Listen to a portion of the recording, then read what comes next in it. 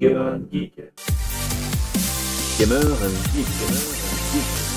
Geek. Gamer and Geek. Bonjour à tous et bienvenue dans ce nouvel épisode de Gamer and Geek, euh, un épisode qui se placera bah, de nouveau sous le sigle du jeu vidéo, pas spécialement de Nintendo pour le coup, puisqu'on a enchaîné pas mal d'épisodes là-dessus, mais sur l'angle jeu vidéo. Euh, avec moi autour de cette table virtuelle pour attaquer ce sujet, nous avons Damien. Coucou Damien, la forme? Bonjour, ouais, très bien, la forme, forme, et toi? Eh ben écoute, euh, ça va plutôt pas mal euh, depuis ces deux dernières semaines, euh, avec le dernier podcast que je me suis fait moi-même en entier dans le, mon petit véhicule et que j'ai trouvé fort sympathique. Euh, Damien, en fait, il y a que toi qui parles en fait aujourd'hui, c'est ça? C'est ça. Mais vous avez le droit de poser des questions. Voilà. Donc du coup, Damien, euh, Damien, tu as l'Oculus Quest chez toi?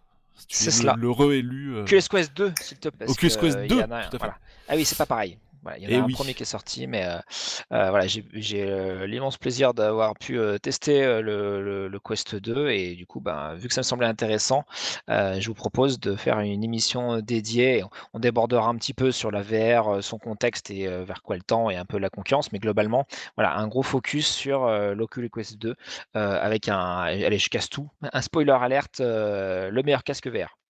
D'accord. Voilà. Alors, euh, j'en profite pour dire, euh, c'est vrai que souvent on aborde le- la question des interactions en fin d'émission.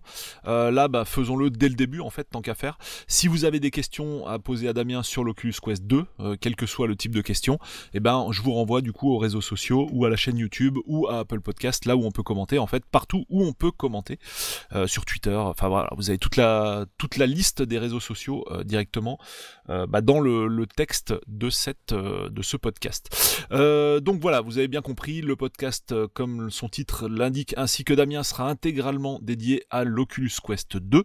Donc on saura tout, tout, tout euh, sur ce fameux casque VR. Et Damien, tu avais d'ailleurs également testé le 1, donc tu vas pouvoir nous Oui, replacer ah aussi oui. les choses dans leur contexte par rapport au 1. tout à Alors nous avons également Julien. Hello Julien, la forme? Hello, ouais, ouais, ouais, ça va, ça va. Euh, bah écoute, sujet intéressant. Alors, euh, comme tu le sais, j'officie de temps à autre euh, sur euh, la chaîne Restez Connecté sur Ouais, YouTube. tout à fait. Et euh, Qu'on invite la- tout le monde à consulter et à s'abonner, bien sûr. Où tu, as, où, où tu as posté récemment d'ailleurs un excellent test de Ghost and Goblins Oui, Resurrection.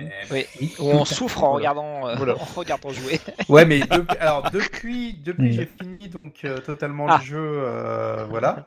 Ce qui m'a Ouais. permis d'avoir l'armure pétée. C'est-à-dire qu'une fois que tu as fini le jeu, tu as une armure pétée qui était invincible. C'est pas vrai. Si, Mortel si, et là tu C'est un ouais, scandale. et, et là Un tu te, scandale. fais, tu te fais plaisir. Tu te refais le jeu. euh, et bah, il y a quand même des endroits où tu arrives à mourir dans des trous et tout. C'est-à-dire que même avec une armure pétée, le jeu reste dur. Et ça, c'est quand même la classe. Quoi.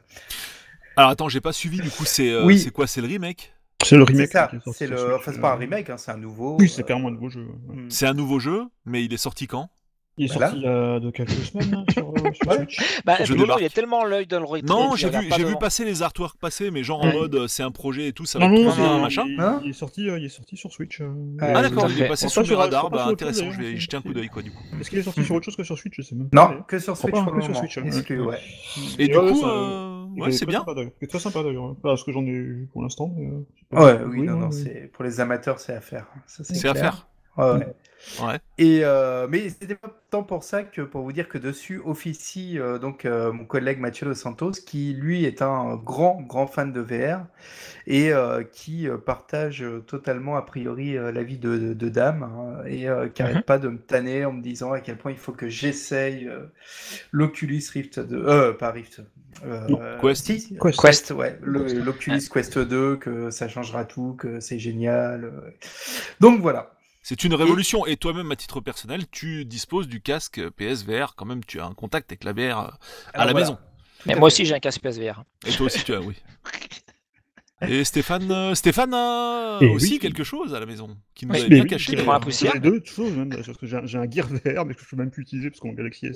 Ah oui, le Gear VR. Oh là là, le Ah, Gear putain, je l'ai VR. aussi. Ah oui. Oh. Euh, mais surtout, j'avais- acheté un, un- un Rift que j'ai pas beaucoup utilisé depuis d'ailleurs parce que j'ai pas assez de place chez moi et j'ai plus assez de ports en fait euh, sur mon PC pour euh, l'utiliser actuellement parce qu'ils sont tous euh, occupés par d'autres trucs. Et, du coup c'est un peu galère mais justement c'est c'est en ça que le, que le, que le, que le Quest m'intéresse au plus haut point parce que j'aime beaucoup l'expérience mais pas du tout on y reviendra l'expérience de la VR euh, filaire on va dire Et voilà, Stéphane, je ne t'avais pas encore introduit, mais tu Mais viens oui. de le faire. Voilà, je me suis Il est là. introduit- auto- auto-introduit moi-même. Voilà. Et il en est fier. Merci Stéphane. Euh, ok, alors du coup, bah, comme d'hab, on va un petit peu dérouler le plan. Euh, on va d'abord euh, ah bah, attaquer le côté matériel de la force, donc euh, le matos, casque plus contrôleur. Bah, qu'est-ce que ça donne concrètement? Euh, bah, qu'est-ce, Est-ce que c'est bah, lourd, pratique à porter, bien fini ou pas, etc., etc. Tout ça, nous le verrons dans cette partie-là. On verra également comment c'est doté en termes de mémoire, de, bah, de, de puissance, etc. Puisque on verra que le casque a un côté autonome tout à fait intéressant. Euh, un côté, un côté, un côté hybride en fait, quoi, quelque part dans le domaine des ça. casques, c'est ce qu'on Mm. verra ensemble.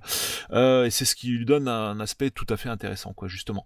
On verra après le côté bah, software de la force. On aime bien en général séparer bah, le hard et le soft parce que c'est vraiment deux parties bah, bien distinctes. Et évidemment, on parlera des jeux dans la partie software, euh, de l'expérience, comme on dit maintenant, et de tout un tas de choses qui concernent le euh, software. On parlera aussi brièvement de l'environnement concurrentiel juste avant de conclure. Voilà. Euh, J'ai rien oublié du coup? Ça me paraît pas mal. Damien? Ça me paraît Bon. tout à fait correct. Donc du coup, bah, maintenant, Damien va se mettre à parler pendant 3 heures. Voilà. Donc on commence par pas. le matos. Casque plus Euh, contrôleur. oui, alors déjà, euh, qu'est-ce que, enfin, donc qu'est-ce que l'Oculus Quest Qu'est-ce que ça comporte quand vous l'achetez? Qu'est-ce que vous avez dans la boîte? Alors déjà, vous avez une jolie boîte, je tiens à le préciser. euh, tout de suite, euh, dès la, la- la boîte de l'ouverture, euh, ça fait envie. Euh, donc vous avez un casque, en fait plutôt un masque, hein, parce que ça entoure pas toute la tête, euh, qui est euh, de- d'une taille euh, assez proche de celle de l'Oculus Quest 1. Et vous avez deux contrôleurs sans fil. euh, qui fonctionnent avec chacune, euh, avec chacun pardon, une pile. Euh, le petit plus, c'est qu'ils ont eu la bonne idée de changer un peu la trappe pour mettre les piles qui avant étaient magnétiques, tendance parfois à, s'enlever toutes seules euh, par un truc mécanique un peu à l'ancienne qui tient mieux, je trouve. Et vous avez aussi sous, chaque, sous chaque contrôleur une petite dragonne. hein, comme, bah, comme pour maintenant tout depuis la Wii, pour éviter qu'il vous tombe des doigts. Et, voilà. et donc c'est tout. Mais comme tu l'as dit, Polo, ce casque est, est autonome. Ce qui veut dire qu'en fait, dans le casque, vous avez un, on va dire un mini smartphone qui permet au casque de, de lancer des jeux directement par sa propre, bah, par le, par, par le casque et par son propre OS. Ouais. Et alors, je- euh, qui, oui, Je te coupe deux secondes, en fait, c'est marrant parce que Stuff en parlait. C'est vraiment un mix entre bah, typiquement le Gear VR, euh, Mhm. qui était donc un casque à destination d'un smartphone. Enfin, en gros, voilà, fallait mettre un Oui, smartphone enfin, dans le, casque. Le, smart- le, le ga- celui qui marchait avec le Galaxy S. Oui. euh, 6S, quoi. Voilà, alors, mais enfin, je parle de l'ensemble, hein, je parle, je parle pas du Oui, casque oui, tout seul. du coup, Où là, du ça coup, donnait un ensemble autonome au final, quoi, en fait. Hein. Ouais. C'est un mix entre ça et euh, bah, les casques qu'on a connus avant, quoi, du coup, Et, et style euh, et- Oculus et compagnie. avant le avant l'Oculus Quest, ils avaient sorti l'Oculus Go, qui était vraiment euh, un Gear VR intégré en fait. C'était vraiment un, Oui. un, un casque là vraiment uniquement mobile avec la même techno qu'il y avait dans le Gear VR, c'est-à-dire les mêmes jeux qu'il y avait dans le Oui. Gear VR. Mhm. Et, euh, et par contre, c'était euh, ouais, c'est ce qui est sorti un petit peu entre les deux. euh, Et il était plus low Oculus cost, Go. hein, je crois Voilà, qu'il le sortait à exactement, ouais, 200 tout à fait. euros, un truc comme ça. Mm. Euh, et j'ai ouais, testé de- aussi l'Oculus Go, donc je peux vraiment tout Mm. vous dire. Je connais tout Mm. des Oculus, euh, ou presque.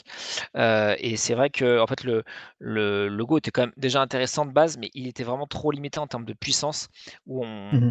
euh, et en termes un peu de résolution d'écran, où on avait quand même l'impression d'avoir vraiment un- une sorte de mise en bouche, mais qui était un peu trop cher par rapport à ce qu'on peut avoir avec un téléphone et un, et un, masque additionnel, on va dire, et, euh, et vraiment trop éloigné de ce qu'on pouvait avoir sur ordinateur. Euh, et donc là, le Quest 2, en fait, c'est euh, euh, comment dire, on va dire que c'est un grand écart entre ces deux, en- entre ces deux produits, le Go et le Rift, donc qui sont deux, euh, deux casques proposés par euh, Oculus. Donc le Rift est un, un casque euh, PC, hein, c'est le premier casque euh, Oculus présenté. Donc vous connaissez l'histoire, Kickstarter, après rachat Facebook, etc. Et, et le Go, bah, on vient de le dire, c'était un produit d'entrée, vraiment entrée en matière, entrée de gamme, qui avait une sorte de, de- de smartphone pas trop trop trop puissant à l'intérieur. Et en fait, le Quest 2 est vraiment monté en gamme principalement au niveau de la puissance euh, embarquée parce qu'en fait il y a un Snapdragon euh, Snapdragon XR2 donc un truc un peu enfin retouché pour le casque et, et orienté vers mais qui est un équivalent d'un Snapdragon 865. Ouais donc Stéphane est-ce que tu peux nous situer de par ton érudition absolument incroyable côté mobile ça correspondrait à quoi comme téléphone mobile en fait? Plutôt milieu haut de gamme, ah, haut de gamme carrément haut de gamme? haut de gamme haut de gamme de l'an dernier on va dire. Haut de gamme de l'an dernier. Donc euh, tu peux nous citer des, des, bah, terminaux je crois, quoi je crois, qu'il y avait le OnePlus 8, qu'il y en avait un, peut-être la version US du Galaxy S10. Euh... Attends. Snapdragon. Euh, oui, fait, voilà, c'était, je crois, c'était à peu près les, euh, les hauts de gamme de, de 2019 qui étaient de 2018 Non, de parce qu'on rappelle, un côté euh, Samsung, en fait, euh, nous on a des Exynos et aux US ils ont des Snapdragon. c'est encore, encore différent. Pour, pour les questions de modem en fait. Ouais. Principalement, il y avait notamment le, il y avait notamment le OnePlus 8 euh, qu'il avait. Euh, je crois il y, avait, il y, avait, un Xiaomi aussi. Je crois que c'est le, Mi 10 euh, qui avait peut-être un 865, je crois. voilà, c'était c'était c'était la plus haut de gamme de 2019 en fait. Alors ouais, ouais, euh, ouais, l'année dernière c'était 2020, mais euh, tu veux dire euh, la. Oui, de 2020. ouais, de 2020. Et en fait, moi, ce que j'ai envie de te demander, Damien, c'est mhm. en termes de puissance, cette puce. donc là, maintenant, on l'a mis face à des modèles de smartphones qui en sont vraiment équipés. Tu mettrais ça à quel niveau si je dois comparer ça à une console de salon, par exemple Toi qui as joué aux jeux justement qui sont proposés en mode autonome, quoi, sans PC. Un PC, bah, il n'y a pas d'écran avec un, avec un, avec un PC, euh, parce que les je jeux sur PC sont toujours un peu plus beaux. Euh, par rapport à une PS4, par exemple, bah, euh, je dirais, c'est compliqué à expliquer quand même, parce que... Tu mettrais ça entre la, entre la PS3 et la PS4 en termes de puissance? Non, non, non, non, je dirais quand même que c'est quand même plus proche de la PS4. Ah ouais. Euh, bah en fait, en termes, enfin, je vais avancer sur le sur l'écran. Donc l'écran, c'est un LCD euh, où avec la résolution, ça va vous donner une idée, de 1832 pixels par 1920 pour chaque œil. Euh, donc là, on parle pas de 720p, on parle de plus que du 720p. sur chaque œil. Donc il faut quand même que le truc il envoie, il envoie du steak haché frites. Hein. Donc en fait, en fait, pour avoir une telle résolution, eh ben, ça, tourne à fond les ballons. C'est pour ça que je vous ai dit que le Snapdragon XR2 est optimisé vers, donc sur la duplication d'images par œil, j'imagine. Euh, à l'inverse, les jeux sont quand même beaucoup moins complexes que ce qu'on peut avoir même sur PS4, euh, parce que bah, une fois qu'on a alimenté les, écrans, la résolution, euh, je ne l'ai pas dit, mais l'écran, il peut aller jusqu'à du 90 Hz. Donc de base, quand le casque est sorti en octobre dernier, c'était 72 Hz c'est quand même une vitesse de bailliage qu'on n'a pas forcément sur tous les casques VR et qui demande aussi un certain, une certaine patate pour avoir cette mmh. qualité de rafraîchissement. Et effectivement, quand vous êtes en 90 Hz, c'est la, la folie. Hein. Euh, donc, euh, on ne peut pas forcément comparer visuellement des, jeux qu'on aurait sur un Quest 2, même si ça existe. Hein. Par exemple, Moss, dont je parlerai plus tard, qui est un super jeu avec une petite souris. Un jeu un peu, on va dire, de réflexion aventure plateforme. Euh, bon, il est quasiment équivalent à ce que j'ai pu voir sur PS4. Alors, je suis pas allé au pixel près, mais globalement, c'est pareil. Pas... Euh, oui, c'est de l'indé, oui. Mais de toute façon, sur VR, malheureusement, il y a quand même beaucoup, beaucoup de produits euh, qui sont considérés comme indé. malheureusement ou heureusement, parce qu'il y a non, des très pas péjoratif, mais je veux dire en termes de mm. puissance, c'est pas forcément les jeux qui vont exploiter. Voilà, je veux dire, il y a, la PS4. Par exemple, un des, un des jeux VR que j'ai trouvé le plus saisissant sur PS4, c'est qui était Resident Evil. Euh, donc le 7, euh, qui est vraiment un vrai jeu costaud euh, VR. il n'est pas sur, sur Oculus Quest 2, donc je pourrais pas faire d'équivalent. Mmh mais ça reste, on va dire que ça reste honnête, voire très honnête, mais on sent bien que en termes de, de, ouais, bah, nombre d'éléments à l'écran, on est quand même sur quelque chose d'un peu plus mobile, quoi. Mmh voilà. Il y a, c'est, faut quand même, on, sent qu'on n'est pas, on est, qu'on est clairement pas sur un PC et que euh, on est encore sur la, sur un compromis. Mmh. Alors quand tu dis, voilà, on reprécise bien, hein, quand tu dis on n'est pas sur un PC, c'est quand on est en mode autonome, quoi. Oui. Oui. Sachant qu'on va y venir, on peut aussi être sur un PC avec le casque, mais ça c'est un autre sujet. moi je parle vraiment en mode en mode euh, pleinement autonome. Euh, vous avez juste euh, votre votre casque que vous venez fraîchement d'acheter, pas forcément un PC puissant pour le faire tourner et tout ça. vous pouvez avoir une expérience de, de jeu visuellement intéressante, mais ça sera pas, je vous dis, ouais, ça sera même pas de la, la, PS4 quoi, en termes de. Enfin, on peut pas comparer un Uncharted 4 par exemple avec les plus beaux jeux qu'on a sur Oculus Quest 2. Déjà, Alors, justement, c'est pas du tout quand- le même genre de jeu et euh, Ouais, pour rebondir là-dessus, quand tu vois la pub en fait qui passe, euh, j'allais dire en boucle hein, sur YouTube, enfin en tout cas, euh, à moins que ce soit ciblé, mais moi je me la tape très souvent, où tu vois un extrait de Star Wars euh, complètement dingue et tout. euh, là, Mhm. ce jeu, il existe en version autonome ou c'est la version Alors, Vador C'est un jeu Immortal, il PC. existe. Euh, Mhm. Non, non, Vador Immortal, il existe, il est très joli, euh, mais comment dire Après, Bah, c'est une œil expérience. Voilà, c'est plus dans, l- dans, dans l'expérience, c'est-à-dire que euh, tu vas avoir des, des fonds assez unis, euh, tu vas avoir pas beaucoup de personnages en même temps à l'écran. euh, euh, C'est le jeu qu'on voit dans la pub. Tu vois de quelle pub je parlais où tu vois euh, Non. une nana qui, enfin c'est une, une nana donc qui met le casque et puis là dans Mhm. bah, dans ce qu'elle voit dans le casque, c'est une scène de Star Wars dans le désert où elle shoot des stormtroopers, euh, voilà, en environnement extérieur en plus. hein. Ça, ça, c'est- Euh, je vois cette Oui, pub, euh, mais en tous les cas, tu as des passages effectivement où tu es sur des, euh, on va dire, une sorte de, de, de véhicule, ça fait un peu rail, quoi, euh, et euh, et t'as, euh, enfin, tu vas allumer des, euh, des, des, des robots divers et variés en jouant du sabre laser. Euh, je Bah n'irai pas jusqu'à dire, n'ayant pas vu la pub, je peux pas te Ouais, dire que ouais, c'est certifié que c'est ce qu'il y a. Par contre, voilà, le jeu, c'est un des plus beaux jeux qu'il y a euh, sur, euh, sur Oculus Quest. Euh, J'irai pas jusqu'à dire que ça te décolle la rétine. Parce que bah, il suffit de jouer un peu sur PC et même sur des, des consoles next-gen. Bon, je parle pas de Cyberpunk, mais euh, de, de- de jeux qui, euh, qui sont vraiment chouettes. On, prend, on prend Demon's Souls ou des choses comme ça. Euh, vous n'avez pas un tel niveau de, de, de finesse en termes de. de Hmm. bah, Bah, en fait, de- dans de- la pub, en gros, dans la pub, t'as l'impression que c'est le niveau graphique de Battlefront, quoi. Le 1, si tu préfères, mais euh, Ah ouais. Voilà. non. Oui, non. non, je pense pas. Quand même, mais, euh, Peut-être pas quand même, euh, non, peut-être non, pas. non. Mais- Euh, ne serait-ce qu'en plus qu'on a vraiment les yeux sur l'écran, parce que les écrans sont vraiment proches des yeux, et donc euh, euh, même s'ils ont fait vraiment d'efforts et qu'il y a une super résolution, on voit quand même un peu les, les- les pixels, etc. Donc euh, c'est toujours un peu moins flatteur que quand tu es à 3 mètres de ta télé et que tu joues, euh, ouais, même à Battlefront, Mm. Battlefront 2, euh, voilà. C'est c'est pas tout à fait la même chose quand même. Pour revenir juste Voilà. sur les smartphones, effectivement, c'est le... principalement c'était Galaxy S20, euh, le OnePlus 8 et euh, le Xiaomi, euh, Xiaomi Mi 10. Ouais, Galaxy c'était S20, vraiment les- c'est déjà pas du tout déconnant, hein, c'est quand même Voilà. hyper Donc puissant. c'est bon, c'est- là, c'est les, c'est les flagships de l'an Ouais. dernier. Quoi. Ouais, mais comme tu le ça, précisais, ouais. Damien, euh, du fait qu'il y ait deux images à calculer, un taux de rafraîchissement Ah bah oui. de ma boule et tout, Ah, tu peux pas t'attendre à avoir aussi bien que ce que t'as sur smartphone, quoi, en fait. Même à puce équivalente, quoi. Euh, je voulais Non. dire aussi un truc. euh, Stéphane, est-ce que ça existe encore, les casques euh, Samsung? Alors, estampillés Oculus, peut-être, pour les, les derniers Non. smartphones? C'est terminé non, ça, Non. ça, ça, c'est. euh, Ils enfin, ont pas, le monde, ouais. euh, tout le monde avait. Enfin, en fait, euh, je, je pense que Oculus a dû euh, arrêter justement pour passer à l'Oculus Go, puis au Ouais. Quest. Ouais. Euh, ouais. Mais euh, Mm. le Gear VR, ouais, ça s'était arrêté après. Je crois qu'il y en avait eu encore Non, un mais- après celui qu'on avait, qu'on avait vu euh, au NWC.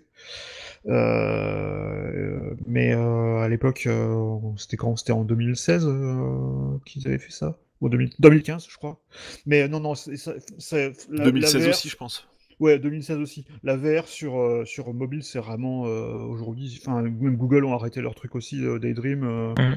Je pense que ça va revenir maintenant avec, euh, avec la réalité augmentée, notamment Non. chez Apple. Euh, Ah. Mais euh, Ça tue, ça tue les batteries, franchement. Oui, mais euh, je Tu veux vois- dire, je- je veux dire, c'est c'est plutôt la- sur mobile, je veux dire, c'est plutôt la réalité augmentée qui va arriver. Euh, et, euh, et le côté euh, lunettes euh, connectées. Elle était pas euh, déjà arrivée à l'époque de Bada et compagnie euh, Mm. Oui, de- ça- de ça- c'est Samsung. un truc, qui- c'est un truc qui revient, qui, qui Go. revient à chaque fois, mais en tout cas, Ouais. toutes les rumeurs, elles, por- elles portent plutôt sur, sur le mobile, euh, que ça, vers des lunettes, euh, des lunettes de réalité augmentée, euh, notamment chez Apple, euh, où il y aurait quelque chose on en, pour on en parlera un tout petit 2023, peu de la 2024. réalité augmentée, Voilà. alors pas, pas tant Mm. parce que le, Ouais. le casque Oculus Quest euh, le fait. Donc en Mm. réalité augmentée, réalité euh, virtuelle, pour ceux qui ne connaissent pas, réalité virtuelle, vous êtes dans un monde virtuel, donc, donc en- enfermé dans l'univers de votre euh, casque, et, euh, et vous avez euh, un univers 100% virtuel euh, face à vous. La réalité augmentée, bah, en général, c'est en transparence, c'est-à-dire que la réalité est en transparence et que par-dessus, vous allez avoir une surcouche d'informations supplémentaires ou, euh, ou ludiques. hein. Donc par exemple, pour- vous prenez Pokémon Go, vous avez un Pokémon euh, qui est euh, dans la rue, etc., où vous baladez, euh, parce que c'est quand même pas tout à fait ça Pokémon Go, mais c'est quand vous capturez un Pokémon, vous avez le Pokémon en 3D euh, qui est posé sur la réalité. Quand vous faites du, vous, naviguez un peu en, GPS et tout, en expérience aug- augmentée, vous allez avoir des panneaux de rue en virtuel qui vont se mettre sur votre rue réelle, enfin, des choses comme ça. Voilà, c'est Mhm. quand, la, quand, la, quand on rajoute quelque chose sur la réalité. Alors que le- la réalité virtuelle, c'est vraiment, euh, on est dans un, dans un monde euh, 100% virtuel, 100% euh, inventé. Et on, et, euh, et voilà, et on est parfaitement euh, immergé dans, dans l'expérience. Ouais. je vais, Ouais. je vais peut-être en parler rapidement. Enfin, ouais. Oui, Oui, pardon, juste, vas-y, juste vas-y. pour préciser, ouais, c'était juste par rapport à Google. Ils ont arrêté il n'y a pas si longtemps que ça, en fait, parce qu'en fait, c'est avec Android 11, en fait, ils ont abandonné euh, leur truc euh, Daydream euh, VR. euh. Mais Daydream, Oui, ils, après, ont, ils, ont, justement- ils ont sorti un casque un jour ou pas? Ils ont sorti un casque, ouais. Le pas, truc euh, avec la pas- moquette dessus, là, il est vraiment Oui, sorti oui, je, hein, ouais je crois qu'il est, mais Ouais. peut-être pas sorti en France par contre. Euh, il est peut-être que sorti aux États-Unis, mais il est bien US. sorti. Euh, mais par contre, effectivement, avec Android 11 qui était sorti donc l'an dernier, ils ont, ils ont arrêté. euh, Ils l'ont- ils l'ont officiellement, traché. euh, Par- ouais. Ouais, Par juste contre, ils pour, vont euh, revenir avec les Google Glass, euh, normalement. Oui, Ouais, je, pense que- je pense qu'une fois que la, une fois que la, que la R euh, sera revenue, euh, je pense que Google va, va, va revenir aussi quelque part. Ouais. hein. Juste pour refermer le chapitre des mobiles, je voulais préciser un truc pour euh, ceux que ça intéresse, puisque voilà, l'émission est quand même sur la VR, donc on va épuiser le sujet, puisqu'on en vraiment on n'a pas souvent l'occasion d'en parler. Euh, ce qui est intéressant, c'est que à l'époque, ces fameux casques pour Galaxy Mhm. étaient bon déjà un des casques officiels, bon ça y a pas de souci, mais déjà surtout c'était alors déjà officiel euh, Samsung, mais surtout c'était officiel euh, Oculus ces casques. Ah oui, oui, C'était- voilà, c'était vraiment bah, estampillé. c'était Gear VR. Voilà, y a- les avait Gear VR il y avait des capteurs.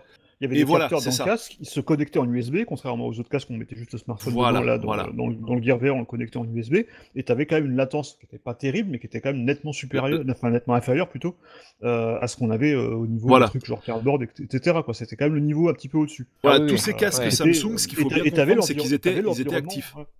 Et tu avais Voilà, c'est- l'environnement Oculus, tu avais le, le shop Tout à- euh, Oculus. D'ailleurs, tu avais même des jeux, même certaines applications, euh, genre des viewers ou des trucs comme ça, euh, que tu pouvais lancer même avec, euh, si tu avais un Oculus Rift ou. euh, Il y avait des hacks en fait qui te voilà. permettaient de lancer les trucs t'avais- classiques. Oui, tu avais aussi ça, mais je veux dire, tu avais une partie de ta Logitech de- du Gear VR qui passait, vu que c'était le store Oculus, tu pouvais même la récupérer sur ton, sur ton Rift ou euh, même Ok. maintenant sur le Quest encore. Quoi. Je pense que tu as encore des Voilà, donc ça c'était hein. des- non c'était des casques actifs et il faut être honnête Ouais. l'expérience par rapport à un, un cardboard à la con donc sans capteur l'expérience n'avait rien à voir en Elle fait était, elle c'était oufissime c'était oufissime ouais voilà donc c'était juste pour Mais euh, là, pour, on est euh, vraiment, à- un stade supérieur. Donc, je vais continuer un petit peu sur le matos, histoire que yes tout le monde ait une bonne idée de, de, de- de ce dont on parle, parce qu'évidemment, vous ne le voyez pas, c'est un podcast. Donc, je suis obligé d'être très précis. Euh, vous avez en plus, euh, donc euh, évidemment, de- des, on va dire des, des écrans qui est sur les yeux, euh, ce qui est, je trouve très très bien et qui avait déjà hein, sur le premier Quest. Vous avez un son intégré dans les branches. Donc en fait, vous avez des haut-parleurs intégrés dans chaque branche à gauche et à droite de votre et qui fait que vous pouvez avoir du son de manière plus ou moins forte Ouais. directement en posant le casque sur votre tête. Euh, donc t'as pas besoin de, de mettre des des, des, des, bah, des écouteurs dans tes oreilles On en n'est fait pas obligé. On n'est pas obligé. Ça veut Tu dire peux le faire, y a en prise plus jack, donc on peut le faire. On peut mettre un bon casque et tout, c'est top. Euh, mais franchement, c'est quand même assez bluffant. Ils ont d'ailleurs pas mal évolué par rapport à l'Oculus Quest 1. Euh, le son intégré est un, un peu plus euh, voluptueux, un peu plus englobant. Donc on est un peu plus immergé euh, dans et puis il est il est honnête voilà Ben, c'est un Mhm. truc qui est intégré Euh, moi ça m'est arrivé quand même plus d'une fois de de- d'utiliser le son intégré parce que j'avais pas en- entre guillemets envie d'aller aller chercher mon casque hein, ou mes écouteurs Euh, et ça marche très bien Mhm. pareil et du coup tu j'ai- entends ce qu'on te dit dans la pièce quoi si quelqu'un te parle ou quoi tu Oui. ça ça Ah oui, oui, t'isole est moins en fait quelque oui, part on est moins isolé, effectivement. Effectivement. Après, on peut le faire, je précise, on peut le faire, mais d'avoir le choix des armes et de, euh, comment dire, enfin, de vraiment pouvoir, hop, on le pose sur sa tête pour dire, allez, hop, je vais aller vite fait dans les menus, me lancer un téléchargement, parler à un pote, etc. euh, en toute, euh, en toute autonomie. Encore une fois, c'est vraiment le terme qu'il faut retenir sur le Quest 2. Euh, c'est, je trouve ça vraiment cool, très très cool. On a une sangle de base qui est, euh, on va dire, utile. Voilà, c'est euh, euh, du, tissu quasiment exclusivement avec un petit bout de plastique pour euh, serrer ou, délester un petit peu. Ça fonctionne. Il y a une sangle qui est vendue à côté. Alors, je me rappelle plus le prix. il me semble que c'est quand même pas forcément donné pour avoir un peu comme sur le, le, le PSVR, une sorte de petite molette pour qui fait un peu contrepoids. Mais ce qui est intéressant aussi à évoquer, c'est que le Quest 2 est un petit peu plus léger que le Quest 1. Je crois qu'il perd 80 grammes, donc il, il pèse quand même. 500 grammes de mémoire. Euh, donc mal, quand même. 80 grammes, c'est ah oui non, Ouais. 80 grammes, c'est énorme hein, euh, Mhm. en moins. Et, euh, et donc du coup 500 grammes, ça fait que le casque penche moins vers l'avant. je l'ai trouvé plus confortable au global. Euh, et, euh, et là, moi, par contre, je suis un peu un warrior, donc euh, quand je fais des sessions, euh, je fais des fois 2-3 heures. hein. Ça, je, je suis pas malade euh, avec la, la- la VR. Et, euh, et c'est vrai que bah, on voit la différence. 80 grammes en moins euh, sur la durée, euh, Ah oui, tu ça se. Voilà. Et donc, j'ai pas ressenti le besoin de- d'a- d'acquérir le, euh, du coup, le- la sangle optionnelle, on va dire, euh, pour avoir un contrepoids, etc. Donc, ça, c'est bien. Euh, par contre, ce qu'ils ont changé, c'est que avant, on pouvait régler la distance, euh, comment on appelle ça, interpupillaire. On contrôlait Oui. les deux pupilles. Euh, là, il y a trois modes de, enfin, d'options pour décaler un petit peu, mais euh, il n'y a pas ça, mais ça fonctionne. Après, voilà, si vous avez des, us- les- des lunettes comme moi, ça peut forcer un petit peu sur, euh, sur les lunettes, donc euh, parce qu'en fait, il y a un, un pourtour en mousse qui est Mais en fait, t'es en fait, vraiment ça obligé de, de mettre tes lunettes? Parce que normalement, t'es pas censé pouvoir euh, justement corriger le. Enfin, tu vois? Euh, je- il me semble, enfin moi à l'époque où j'avais des lunettes, il me semble que les casques VR, en gros, tu réglais correctement les, euh, les lentilles et puis c'était bon quoi, t'avais pas besoin de tes lunettes. bah, ça dépend des personnes, ça dépend des vues. Ouais, euh, ça dépend des voilà, problèmes de vue, ouais. Mm. ouais, Bah, bien sûr. Bon, en tout ouais. cas, quand t'es myope, ça passe quoi. En tout cas, ça c'est clair. Mais euh, En tout cas, moi, pas. voilà, j'utilisais sans mes lunettes, il n'y a pas de, il y a pas de souci. Euh, Ouais, donc tu peux a l'as utilisé ça en tout cas. Oui, j'ai fait les 2 heu et heu, je l'utilise majoritairement comme sans lunettes, je trouve que c'est plus confortable, heu et que, globalement, ça comment dire? Le fait de ne pas avoir cette, ce verre en plus entre les les blocs optiques et heu et nos yeux, ça apporte encore un petit peu plus d'immersion. Alors au bout d'un moment, on oublie, hein, mais c'est vrai que j'aime bien avoir l'expérience la plus pure avec le avec le produit et heu et heu, vraiment, en termes de en termes de poids, de form factor, et de finition, parce qu'en fait, bah, la finition est simplement impeccable, mais vraiment, c'est, très lisse. C'est tout en en plastique sur le pourtour, casque. L'autre faisait le 1er avait un côté un un revêtement un petit peu différent. Là, le casque est intégralement blanc, mais il est vraiment il est vraiment superbe et très, très agréable à porter. Comme je vous disais, le fait qu'il soit parfaitement autonome, que les même le son est embarqué dans les branches, ça fait qu'on on on moi, je le mets assez facilement, pour regarder un peu, hop, naviguer, voir un peu ce qu'il y a comme nouvelles, comme applis et cetera et c'est quelque chose que j'avais pas du tout, heu, avec, heu, des casques filaires type, heu, PlayStation VR. Parce qu'en fait, PlayStation VR, il faut, le petit il faut brancher le le petit module supplémentaire qu'on met derrière la console. Il faut brancher moi j'ai plusieurs fils, j'ai le 1er modèle, heu, c'est super, heu, c'est super chiant quoi, hein, on va dire les choses, heu, telles qu'elles sont et donc du coup, rien que pour se dire: «Bon allez, je vais essayer de le mettre», ça prend, heu, 15-20 minutes, il faut tout déballer et cetera. Là, vraiment le casque, en plus ce qui est génial, c'est qu'il s'allume tout seul en fait quand quand on le met sur la tête, hop, il s'allume, les écrans s'allument et hop, ça se connecte. Quand on l'enlève, hop, ça se met en veille.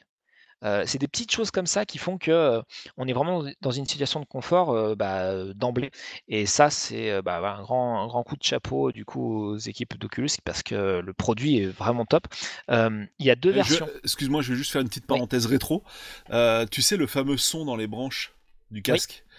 Tu sais qui a, enfin je vais pas dire qui l'a inventé, c'est peut-être un petit peu pompeux quoi, mais euh, mais quelle est ma première expérience qui remonte à, enfin ma première ex- expérience de ce genre de produit, euh, bah remonte en fait. euh. Alors je- c'était pas en 95 quand c'est sorti parce que j'ai découvert le produit bien après, mais euh, au final le Virtual Boy, alors évidemment c'est pas un casque Oui. VR même si ça s'appelait VR, euh, avait ce genre Mhm. de truc en fait. Tu avais les haut-parleurs stéréo qui étaient vraiment localisés de Oui, manière à ce que ça tombe dans tes oreilles. Et en fait, ce qui est impressionnant, c'est que le son était, alors bien sûr qu'il était stéréo, forcément. Enfin non, pas forcément, mais en tout cas il l'était. Mais surtout, ce qui est impressionnant, c'est qu'il était spéci- vraiment spatialisé, c'est-à-dire tu avais la 3D dans le Mm. casque et euh, tu avais vraiment le son spatial où limite tu pouvais localiser, euh, alors pas que avec gauche et droite, mais même euh, mais et plus si affinité, j'ai envie de dire, tu avais vraiment l'impression de localiser Mhm. dans l'espace en plus, encore mieux que de la stéréo, limite comme du su- surround.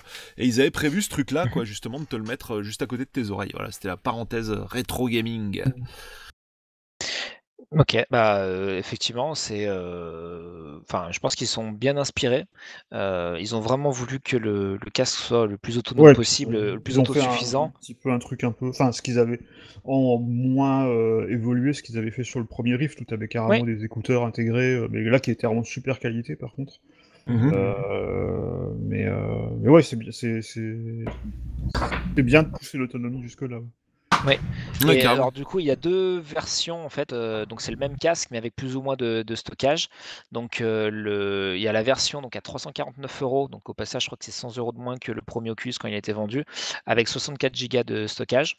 Alors je vais vous le dire simplement, euh, quand vous commencez vraiment, enfin si vous vraiment vous l'utilisez pour faire du jeu, euh, vous- ça peut vite être euh, limité. En tout cas, il va falloir supprimer des jeux, etc. Mais bon, ça reste quand même euh, tout à fait exploitable.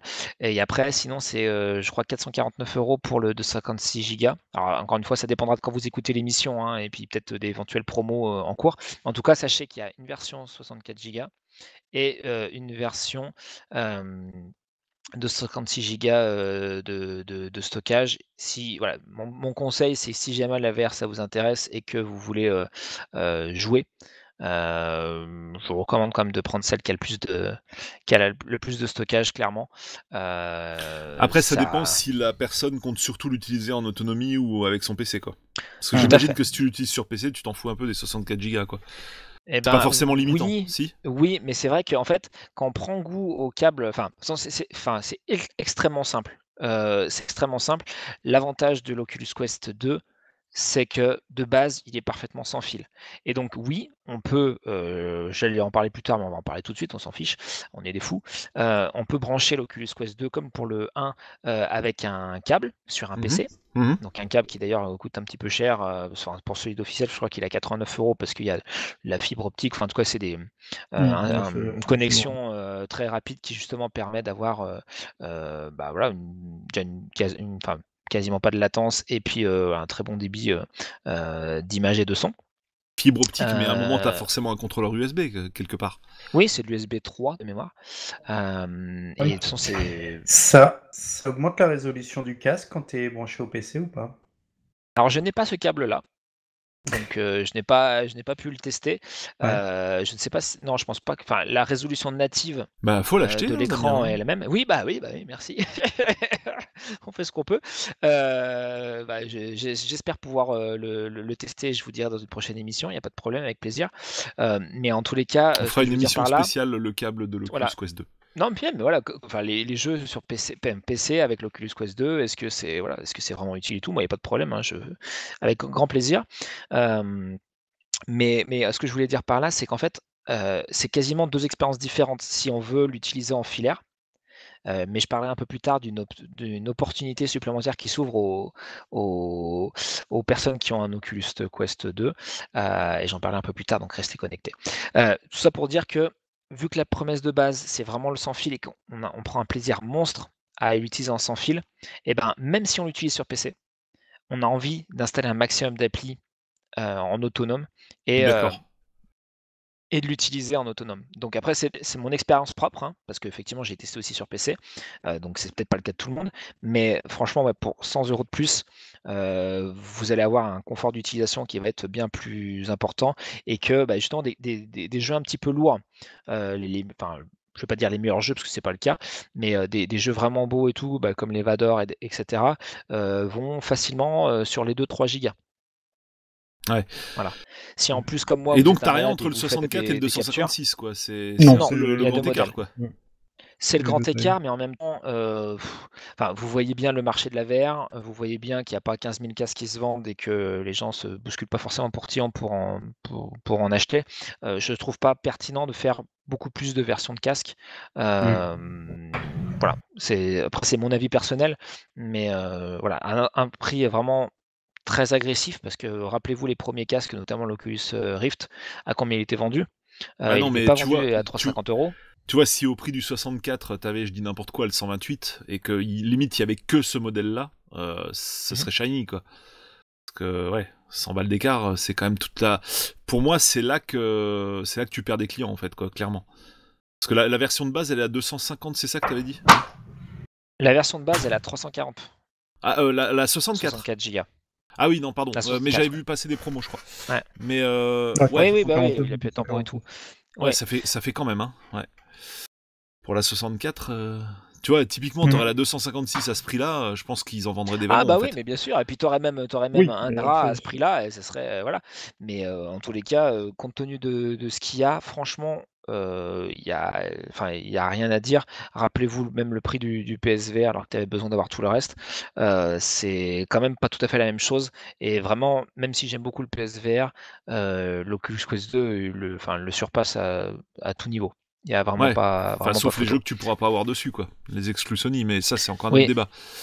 Sûr. Après, ça va aussi dans l'autre sens, hein, évidemment. hein. Bien sûr, bien sûr. Mais voilà, en tout cas, le produit en lui-même, euh, il y a deux offres qui me semblent, moi, euh, assez pertinentes et un prix d'appel qui est cool. C'est-à-dire que même voilà, avec un, version 64 Go, on peut quand même déjà bien, bien s'amuser et avoir un produit de qualité qui en plus, en plus, comme on l'a déjà dit, raccorder à un PC si jamais on veut avoir une expérience un peu plus étendue.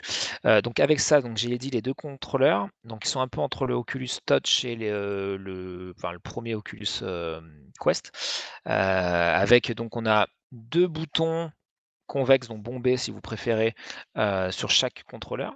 On a un joystick euh, sur chaque contrôleur, très agréable à l'utilisation. On a un bouton euh, creusé, concave, du coup, qui vous permet notamment sur le, c'est quoi, c'est le, droit de, revenir au menu, des choses comme ça, ou de resynchroniser le, le, comment dire, la vue, quand, euh, de resynchroniser la- le centre de votre vue. Par rapport, à, par rapport à- au menu, par rapport Mhm. au jeu, on avait ça aussi sur PSVR. En fait, vous restez appuyé sur une touche et hop, ça recentre par rapport à vos deux yeux, quoi. Et votre, euh, la direction de votre tête, parce que des fois, on bouge, ça vous échappera pas en VR, et, euh, et il peut être utile de, de faire ça. Euh, et pareil, de, retourner au menu, de changer d'application, de répondre à quelqu'un, etc. Euh, C'est vraiment ultra pratique.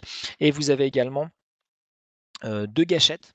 Donc une gâchette un peu comme sur les manettes classiques, on va dire à l'arrière qu'on peut toucher avec l'index, et une gâchette un peu plus surprenante qui est sur le côté. Donc par exemple sur la manette droite, c'est sur le côté gauche, et sur la manette gauche, c'est sur le côté droit, qui sont plutôt accessibles avec le majeur et qui donnent du coup un nombre de, de touches satisfaisant euh, pour avoir euh, comment dire, des jeux relativement complexes, mais pas trop. Euh, et euh, et euh, même pour jouer à des jeux PC, euh, pareil, qui sont pas forcément trop trop complexes, comme euh, c'est quoi Cube, des choses comme ça, euh, qui euh, du coup sont parfaitement jouables avec ces contrôleurs-là. Ils sont très très bien finis. Mm. Ils sont plutôt bien équilibrés en termes de. Est-ce Du que- coup, c'est est-ce qu'il y a comme un espèce le- de standard euh, Je me demandais, est-ce qu'il y a un espèce de standard au niveau des contrôleurs euh, VR Typiquement, est-ce qu'un même jeu, tu peux le retrouver, ben, euh, du coup, enfin, par exemple, un indé hein, qui proposerait son jeu à la fois sur euh, le store Oculus et le store, je dis n'importe quoi, Vive ou PlayStation, ah bah PlayStation VR. Pour l'instant, il n'y a pas de contrôleur spécifique, euh, ça, viendra. Mais en tout cas, au moins sur les deux gros casques PC, on va retrouver un peu la même forme ou ou pas des contrôleurs? Bah, globalement, euh, moi j'ai pas eu de soucis parce que j'ai testé euh, Steam VR et, euh, et Oculus. J'ai pas eu du tout de soucis pour, pour, jouer. Donc soit j'avais des jeux très très simples ou très bien programmés, soit c'est que c'est relativement proche. J'ai comme l'impression que ça, ça tend à, à se rapprocher, que les contrôleurs ont aujourd'hui un peu près tous la même tête, hein, j'exagère un peu, mais voilà, Euh, on arrive sur un consensus en termes de, de nombre de touches, de formes, euh, qui, voilà, qui a d'ailleurs été pas mal poussé par Oculus, hein, parce que c'était euh, justement Mhm. les Oculus Touch qui ont pas mal, euh, qui ont pas Ouais. mal fait bouger les choses. Mm. Euh, donc non, pour résumer, euh, des contrôleurs tout à fait euh, agréables à utiliser euh, et euh, pareil qui sont bien réalisés, donc trop lourds mais en laissant quand même. Il y a des vibrations, j'en ai pas parlé, qui sont très cool, euh, qui font qu'on a aussi euh, une immersion qui passe par le- les sensations, le toucher. Euh, et donc il y a plein de jeux, bah, par exemple Vador Immortal, où quand vous avez votre sabre laser, quand il y a un tir qui vous touche, et bah, vous le sentez. Il y a toute une plé- pléthore de, de jeux comme les jeux musicaux ou des jeux de raquettes, donc ping-pong, etc., euh, qui sont très très bien euh, en termes, enfin qui rendent très bien au niveau des vibrations. Il y a un jeu aussi de chute libre donc, dont je parlerai plus tard. Euh, donc l'ensemble au niveau du matos qui est délivré du coup par Facebook, hein, qui est détenteur est vraiment inattaquable. C'est assez, bluffant. c'est vraiment un très beau produit. Et l'ensemble fait vraiment envie d'emblée, dès que vous le voyez, vous avez envie de le tester. Euh, J'ai pu du coup faire tester à des proches, euh, des amis qui sont passés euh, et qui bon étaient un peu réfractaires, on va dire, sur la, la VR. Ils ont testé ça, ils ont dit ah mais ah mais c'est ça la VR, on peut faire des trucs sans fil, mais mais c'est léger, mais il est où l'ordinateur, etc. Enfin, les gens ont quand même un peu halluciné. Donc je pense qu'il y a quand même encore une sorte de méconnaissance un peu de, de ce que peut faire la, la VR aujourd'hui. Et, euh, et, et, et, vraiment, ouais, ça, c'est avec des, des, produits aussi bien finis que ça qu'on peut arriver à séduire. Alors, en parlant de sans fil, moi j'avais envie de te poser une question au niveau de la liaison PC. Est-ce que tu as des possibilités de liaison PC sans fil ou euh, forcément il faudra le fameux câble à 90 balles quoi? Alors justement, j'ai fait un tout à l'heure en te disant que j'en parlerai plus tard. tu me forces la main, donc je vais être obligé de le dire. Oui, il y a une possibilité de, de, de, d'avoir une liaison sans fil entre le PC et le casque. Euh, alors, à ah ma ouais? connaissance, il y a une appli vraiment cool qui s'appelle Virtual Desktop. Euh, qui euh, permet d'avoir donc un lien avec un, un, PC. Alors moi, ce que je conseille quand même, c'est même plus qu'un conseil, c'est je recommande, je, je conseille, je, je, quand, je plus sois, je, ouais, bah, limite j'impose. Mais c'est officiel ce euh, D'avoir ou... un bon Wi-Fi. Bah, c'est euh, sur le store d'Oculus, donc je sais pas comment tu peux dire. c'est bien sûr c'est accepté, c'est accepté. Et euh, non, mais ce que je veux bien. dire sur le store d'Oculus, tu as des produits de développeurs tiers, quoi. Donc est-ce que c'est développé par Oculus, quoi? C'était le sens de ma question. Ce n'est pas développé, ce n'est développé par Oculus, mais c'est accepté par Oculus parce que justement effectivement c'était un truc tiers, plus ou moins, je vais pas dire underground, mais voilà. Et euh, donc là on est entré par la grande porte, etc.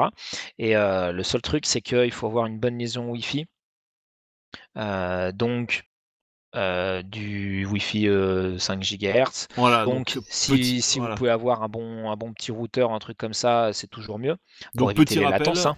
petit rappel, donc 5 GHz, mauvaise portée mais gros débit, euh, faible latence, et puis le 2,4, bah, c'est le contraire en fait. C'est ça. C'est ça. Et moi, j'ai pu l'essayer avec mon modeste 2,4 euh, et mon, enfin, ma box qui fait office de routeur qui est particulièrement moisie. Et euh, ça marche. Non, mais je, je- je vends du rêve, hein, je sais. Euh, ça marche. Après, euh, c'est c'est pas ultra confortable. Donc c'est pour ça que je le conseille pas. Euh, mais par contre, pour euh, euh, faire de la navig- navigation web, alors bon, c'est un peu débile parce qu'il y a, de, il y a un- une application de, de navigation web intégrée à l'Oculus. Mais si vous voulez vous taper un trip de faire du Chrome PC ou du VLC ou ce que vous voulez directement sur, sur l'Oculus, ça marche super bien. Euh, Moi, je me suis amusé à faire des fenêtres tout autour de moi. en fait, les fenêtres sont incurvées. Et, euh, euh, je ne l'ai pas précisé, mais en fait, un, des buts un des intérêts de la VR, c'est que vu que vous avez euh, les lentilles proches de vos yeux, l'immersion, enfin le rendu 3, en trois dimensions est assez bluffant. On est vraiment immergé, euh, euh, on a une nette euh, impression de profondeur, etc. Donc du coup, les écrans, on les voit vraiment tout autour de soi comme s'ils étaient là dans la réalité. Donc il y a un côté un peu Minority Report et ça marche euh, très bien. Ça marche très bien, même en 2,4 euh, GHz. Après, pour du jeu vidéo, euh, si vous voulez jouer à euh, vous pouvez, mais euh, ouais, préférez un 5 GHz et idéalement un bon routeur. Ouais, pour, ouais. euh, Est-ce Ouais, qu'il y, a ou des acheter jeux- un câble. est-ce qu'il y a des jeux de pêche? Il y a des jeux de pêche. Je te rassure tout de suite, il y a des jeux de pêche. Parfait. parfait. Ah bah c'est inévitable, inévitable. C'est En comme, VR, euh, euh, avec avec la ah bah Wii, oui. il fallait un jeu de un jeu de pêche et un jeu de boules. Qu'il y a des jeux de chasse Bah, aussi parce que... Vous les avez. euh, Il y a des jeux de chasse, pêche. Ah et oui, ça j'avais vu. Bien sûr. Il y a, il y a tout ce qu'il faut. Alors justement, vous m'avez lancé sur la partie software, donc je vais parler un peu de la partie software. Euh, donc software propre, c'est-à-dire le système d'exploitation, euh, euh, l'interface, les menus, etc. Donc vu qu'on a Le du en fait, on, voilà, on, on a un, un OS qui ressemble à un OS Android, hein, on va pas se le cacher, euh, en plus Qui est un OS Android stable probablement. et qui est certainement un OS Android, mais en tous les cas, bon, ça, ça dingue. Euh, c'est euh, c'est réactif, c'est fluide, c'est assez joli parce qu'en fait, on est tout le temps dans une ambiance. Euh, donc, on peut choisir des espaces virtuels, des bureaux virtuels, je sais pas comment on peut appeler ça. Donc, en gros, une fois vous êtes euh, euh, dans, un, dans un truc un peu cosy, euh, type vieux chalet, enfin, ou chalet avec, avec un petit feu de bois, etc., où vous pouvez être, je sais pas, genre dans l'espace. Il y a tout un tas de, de- d'espaces virtuels qui peuvent vous accompagner virtuellement dans le casque. Ou au Et en surimpression, vous avez bah, donc un, un écran de un dashboard, un écran menu euh, dans lequel vous avez accès à- aux différents réglages. Vous pouvez régler la luminosité, vous pouvez activer le Wi-Fi, changer de réseau, etc. Vous pouvez augmenter ou baisser le son. Euh, vous pouvez faire des captures d'écran, ça c'est vachement cool. Euh, capture euh, d'écran fixe ou de vidéo. Capture vidéo. partagez ça évidemment sur vos réseaux sociaux préférés. allez sur Internet, lancez YouTube, Netflix, Disney ⁇ c'est ce que vous voulez. Lancez des jeux et des applications de manière très intuitive parce qu'en fait on pointe avec le contrôleur, avec un des contrôleurs. de base, donc en gros, vous, simplement vous relevez votre contrôleur et vous visez, donc il y a un petit, un, petit pointeur à l'écran, Je un peu comme si vous avez une souris. Oui. Justement, tu en parlais en termes d'application. Justement, ça donne quoi? Quelle est, selon toi, le, la richesse du store? Est-ce que c'est vraiment complet? Est-ce qu'il manque des trucs? Est-ce qu'on peut regarder Salto dans son casque? Alors Salto, je n'ai pas trouvé cette application-là. Euh, peut-être qu'elle y est, mais voilà. Non, mais j'ai dit, je crois qu'il y a Disney plus euh, Netflix, euh, qu'est-ce que j'ai vu d'autre? Amazon Prime VR. Euh, et puis des, des, trucs genre National Geographic, enfin des, des, des, trucs, euh, je sais pas, il y a ESPN, des choses comme ça. Enfin, il y a, YouTube des, VR, portails un peu vidéo, voilà. et ça marche très bien. D'ailleurs, c'est assez cosy. En fait, ça, en fait, on a une sorte de mmh. grand écran principal. On peut choisir un peu la taille. il y a certaines vidéos qui peuvent être en full 360 degrés. Et, et, on peut aussi regarder, consulter des contenus, regarder des vidéos un peu en esprit cinéma, euh, ou comme si les gens étaient chez nous. Donc en fait, on a un écran principal et les gens se connectent à notre, euh, notre show, on va dire, peuvent regarder avec nous. Euh, donc au niveau soft répondre Polo, parce que j'ai pas oublié ta question, j'ai trouvé ça très fourni, plus que quand j'avais testé l'Oculus Quest 1. Alors évidemment, le temps est passé et, et j'étais rassuré de voir que bah, en fait la scène est, est, même très vivace. Il y a beaucoup beaucoup de, de très bonnes applis, principalement de très bons jeux. Euh, alors il y en a que j'avais déjà vu et qui sont toujours aussi bons, hein, comme le Moss dont je parlais tout à l'heure. Euh, mais euh, il y a de ce que j'ai noté. Alors c'est dommage, je voulais parler vraiment de l'interface même et après parler des, productions tiers. Mais ouais, il y a, beaucoup de jeux de type musicaux. Alors j'adore les jeux musicaux, donc j'étais enchanté. Ouais. Euh, Saber, a, comme ça. Euh, voilà. Euh, juste pour revenir aux médias et refermer le chapitre dans la foulée, j'étais un peu satirique avec Salto, mais par contre, typiquement MyCanal, tu l'as ou pas? Non. Non, pas Maxence. Pas... tu l'as pas trouvé? J'ai pas retesté là, mais ouais. je, non. j'ai beaucoup de trucs américains, tu vois, Netflix, Amazon et Disney. Plus, mais MyCanal, je pense pas qu'ils aient encore fait ça. Mais ça, c'est plutôt la question des développeurs plutôt que parce que euh, Oculus mmh. serait très content d'avoir ça. Je vois pas ce, qui, ce qui bloquerait. Par contre, est-ce que MyCanal va penser à, la faire? Ça, c'est ça, c'est autre chose. Ils ont mis tellement de temps déjà arrivé sur PlayStation que. Ouais, parce qu'en fait, à l'époque, euh, à l'époque des casques Oculus pour les téléphones Samsung, tu avais possibilité, on va dire, de, de, hacker un petit peu le truc pour accéder au store Android. évidemment, j'imagine que là, c'est pas possible. Non, par contre, si tu accèdes, alors je me suis pas amusé à le faire, donc je vais pas trop m'avancer, mais si tu accèdes à MyCanal sur ton PC et que tu prends l'application pour accéder à ton PC via le casque, bah, fin de l'histoire quoi. Enfin, l'avantage d'être connecté au mmh. PC, c'est que le PC virtuellement, tu peux faire ce que tu veux. Donc, il n'y a pas de, a pas vraiment de limite. Hein, c'est, ça me paraît, ça me paraît faisable. Ça me paraît faisable. Mais c'était vraiment, euh... sur, le, sur le Gear VR, je me rappelle qu'il y avait une appli Netflix euh, déjà dessus. Et euh, c'était vraiment une de mes applis préférées, en fait, c'est le, le, le, fait de pouvoir euh, regarder des films ou des séries sur Netflix. Oui. Comme si tu étais oui, sur un grand écran, en fait. Tout et, à fait. L'expérience était. Et, alors, bien sûr, la, alors, la, résolution sur le Gear VR était. c'était du. du de... C'était quoi le, la résolution du S6 C'était même pas du. C'était du, du, QHD, je crois. Donc, mmh, dans, oui. de, devant les yeux, ça, ça C'est le S7, hein il y en a bien avec le S7. Oui, avec le S7, hein, avec ouais. le S6, le S7. Mmh, mais c'était QHD aussi, pareil. Pareil, c'était juste QHD aussi. Euh, mmh. Mais par contre, c'était vraiment super sympa euh, de, de, pouvoir, euh, de pouvoir regarder une série sur Netflix comme si c'était sur un ouais. grand écran. Bah justement, en fait, donc, euh, dans, les, dans le truc que je souhaitais aborder après, donc les applis, mmh. effectivement, j'ai trouvé une étonnante utilité en mode film-série seul ou à plusieurs, mmh. parce que en fait, donc c'est un, enfin les, on va dire que les, on a deux écrans sur les yeux, on va dire, euh, qui sont LCD. Donc LCD, on se dit ah bah tiens c'est moins bien que du OLED et tout, donc effectivement on n'a pas les contrastes euh, quasiment infinis, etc. La profondeur des noirs, donc euh, le noir n'est pas forcément très noir. Par contre, on a une image qui est beaucoup plus lumineuse, beaucoup plus euh, chatoyante. Euh, on n'a quasiment pas l'effet grillage qu'on a. Bah, bah oui, as le fameux pentile en fait, voilà. justement qu'il faut éviter. Et, quoi. Tout à fait. Et il y a peu d'aberrations, enfin peu ou pas, je crois pas avoir constaté d'aberration chromatique, ce qui est assez rare.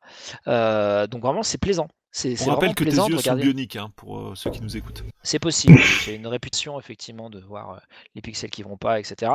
Mais non, non, vraiment, ne pas négliger le côté utilité en mode film pour bah, s'isoler un petit peu, être en, ouais, dans un, comme dans une salle de cinéma, parce que ça vous a pas échappé que les salles de cinéma, on peut plus trop y aller depuis quelques Bah temps. oui, déjà, ouais. Euh, c'est c'est Mm. assez cool. C'est assez Ouais. Cool. alors par, par contre, je retiens quand même, et ça t'en as parlé tout à l'heure, mais comme on parle des pixels, je, re- je rebondis dessus. Moi, je me souviens les tout premières fois qu'on a eu accès au premier casque VR, hein, Stéphane, euh, bah, c'était au Mobile Mhm. World Congress ou à différents salons qu'on faisait, Mhm. avant même que ça sorte dans le commerce.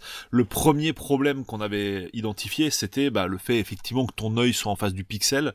Ah bah, Oui. Du coup, tu vois beaucoup les pixels, quoi, forcément. Bien sûr. Mais d'après ce que là, tu disais bah, dans la partie hardware, on les voit encore, quoi, malheureusement. On on a toujours Ah. pas de. En fait, de c'est casque, pas tant euh, qu'on voit les pixels, c'est que, enfin, tu vois les pixels de l'image, parce que ton jeu, même si la résolution bah, de- des écrans est très bonne. Euh, si le jeu, euh, ben, pour que ça fonctionne, pour qu'il soit fluide, il est dans une résolution inférieure, forcément, tu auras des effets d'escalier. Euh, c'est le cas, euh, bah, par exemple, sur Switch ou sur n'importe quoi, Ah, tu, même tu si dis t'es pas dessus. les jeux tournent à une résolution inférieure que ceux du casque? Je ne t'ai pas dit ça parce que j'ai pas pu mesurer, mais en tout cas, on voit que certains euh, personnages, par exemple, sont un peu aliasés, etc. C'est Ah pas oui, oui, tant, bah, c'était. euh, c'est pas tant que le, le- le- le casque est de mauvaise qualité, etc. Que euh, ça se trouve le jeu, il a été fait avec une résolution inférieure, parce qu'il a été peut-être fait justement. Je vous ai dit, il y a des jeux qui étaient sur l'Oculus Quest 1. Bah là, il faut voir le, le même côté PC quoi, de, la, de la force quoi, pour, pour s'en et convaincre. même- Et ouais. voilà. Et même sur le Go, hein, et même qui était sur Oui, le Go. et même sur le Go, ouais, c'était assez violent sur le Go. euh, Il y Mhm. avait des jeux qui étaient voilà, euh, bien, bien marqués en termes d'aliasing. Donc, euh, c'est pas tant la dalle ou le, la, la- la résolution que je pointe du doigt, parce que la résolution est très bonne, voire euh, surprenante pour un, un casque autonome, euh, mais plus, euh, bah, effectivement, qu'il y a certains, certaines applis un peu légères euh, où euh, bah, tu, vois, euh, tu vois que certains effets d'escale, il faut pas s'attendre à avoir euh, euh, bah, de- un effet euh, 4K, 8K sur un casque, surtout quand tu as ton écran sur les yeux. Quoi. Voilà. Mais en tous les cas, c'est beaucoup moins violent que ce que tu as pu avoir jusqu'à présent, notamment sur PSVR. Et en plus, tu n'as pas cet effet gris, ces aberrations chromatiques, ces trucs qui, te sortaient un peu des jeux. Quoi. Voilà. Là, vraiment, l'expérience c'est quand même vraiment satisfaisante parce que l'écran est très chouette, bien avec une quand même une très bonne résolution qui fait que c'est confortable sur la durée. Moi, je vous ai dit, hein, j'ai pu jouer euh, pendant 2-3 heures sans problème, euh, alors que c'était pas forcément le cas. Bah, avec un PSVR, euh, au bout d'une heure, une heure et demie, j'ai envie de voilà de, de- de regarder la vraie vie avec mes vrais yeux et de, et de voir un peu moins de, de pixels et de trucs bizarres. Est-ce que, tu, que tu dirais que dans les jeux pour lesquels il y a du motion sickness, il y en aurait peut-être moins sur euh, ce casque que sur PSVR par exemple. Tu as pu constater ça? Hmm. Une amélioration à ce niveau-là ou pas? Euh, Je parle des jeux alors, en embarqué, quoi, Alors, type dans un cockpit alors, de oui, bagnole, dans le de sens vaisseau, où- de... Oui, dans le sens où, euh, vu qu'on a une bonne vitesse de, une bonne fréquence d'affichage, euh, eh bien, euh, les mouvements sont moins violents, tout est plus fluide. Euh, donc, Ouais, après il y a toujours le décalage avec l'oreille interne, que ce soit fluide ou pas, Oui. quoi, en fait. il y a le décalage avec l'oreille interne, mais si tu veux, ça tu l'auras toujours, effectivement, comme dit Stéphane. Euh, mais euh, d'un côté, tu as euh, une bonne liberté de déplacement.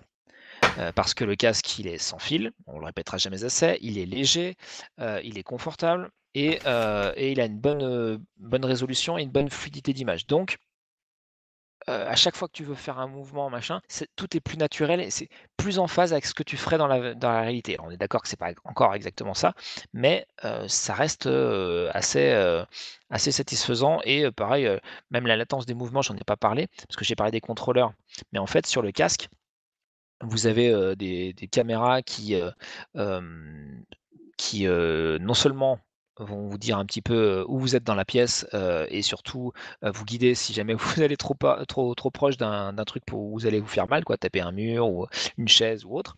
Mais surtout, euh, il y a une reconnaissance des mouvements qui, pour moi, est quasiment sans faille. J'ai pas j'ai pas perçu un moment où je me suis dit oh punaise là il a pas compris ce que j'ai fait euh, ou euh, là il y a trop de latence dans, dans mon mouvement il a paru trois ans après. J'ai jamais eu ça. Sans, et sans capteur externe, parce que ça c'était aussi un truc que tu avais sur la plupart des casques filaires, euh, genre. euh, Oui.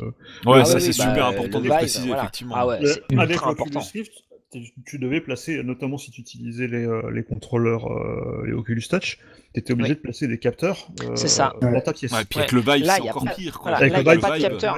le en fait, tout ouais. est vraiment tout est embarqué. Vraiment, je vous ai dit que le, le mot-clé, c'est autonomie. C'est que même si on peut le brancher sur un PC, le casque est parfaitement autonome. Et en gros, euh, à la limite, on n'a même pas à se poser la question de comment ça marche. Ça marche. le casque sait où on est dans dans le- dans l'espace. Il voit très très bien nos mains.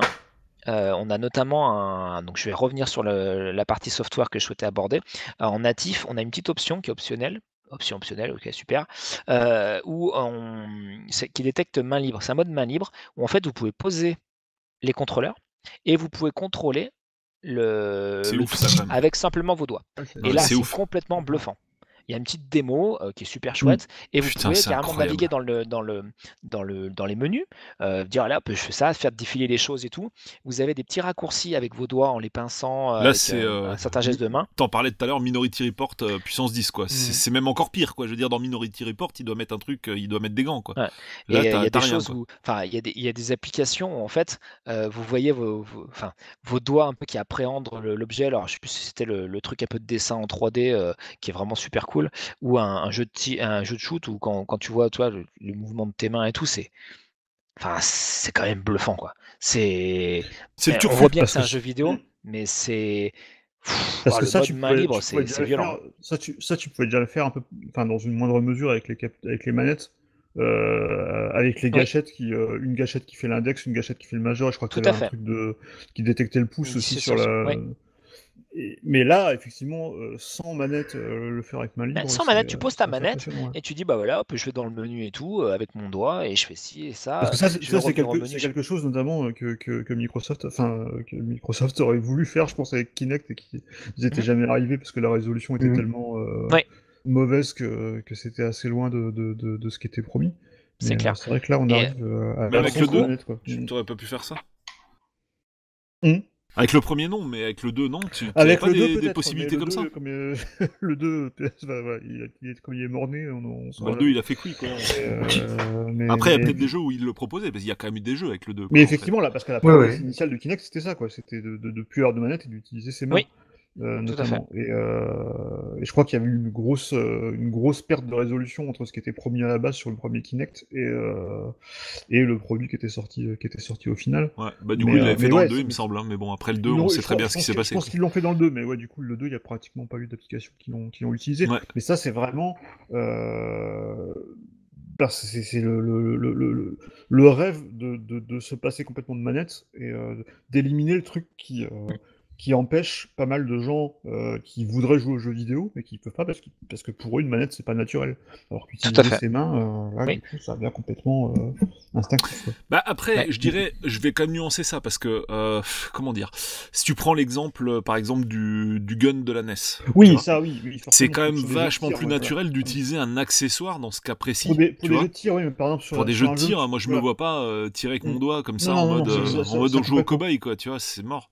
Ça complètement, mais je veux dire par exemple pour des, pour des jeux d'aventure ou des, des, des espèces de trucs un peu genre escape game ou quoi où tu dois manipuler des trucs. Alors, Ah bien ouais. sûr, euh, bien sûr là, le, le rêve ultime, ce serait d'avoir en plus du, du retour tactile par rapport à Ouais, Ah, retour ouais. haptique, ce retour serait énorme. par rapport, ouais, par c'est rapport clair. à ce que par, par rapport à ce que tu fais.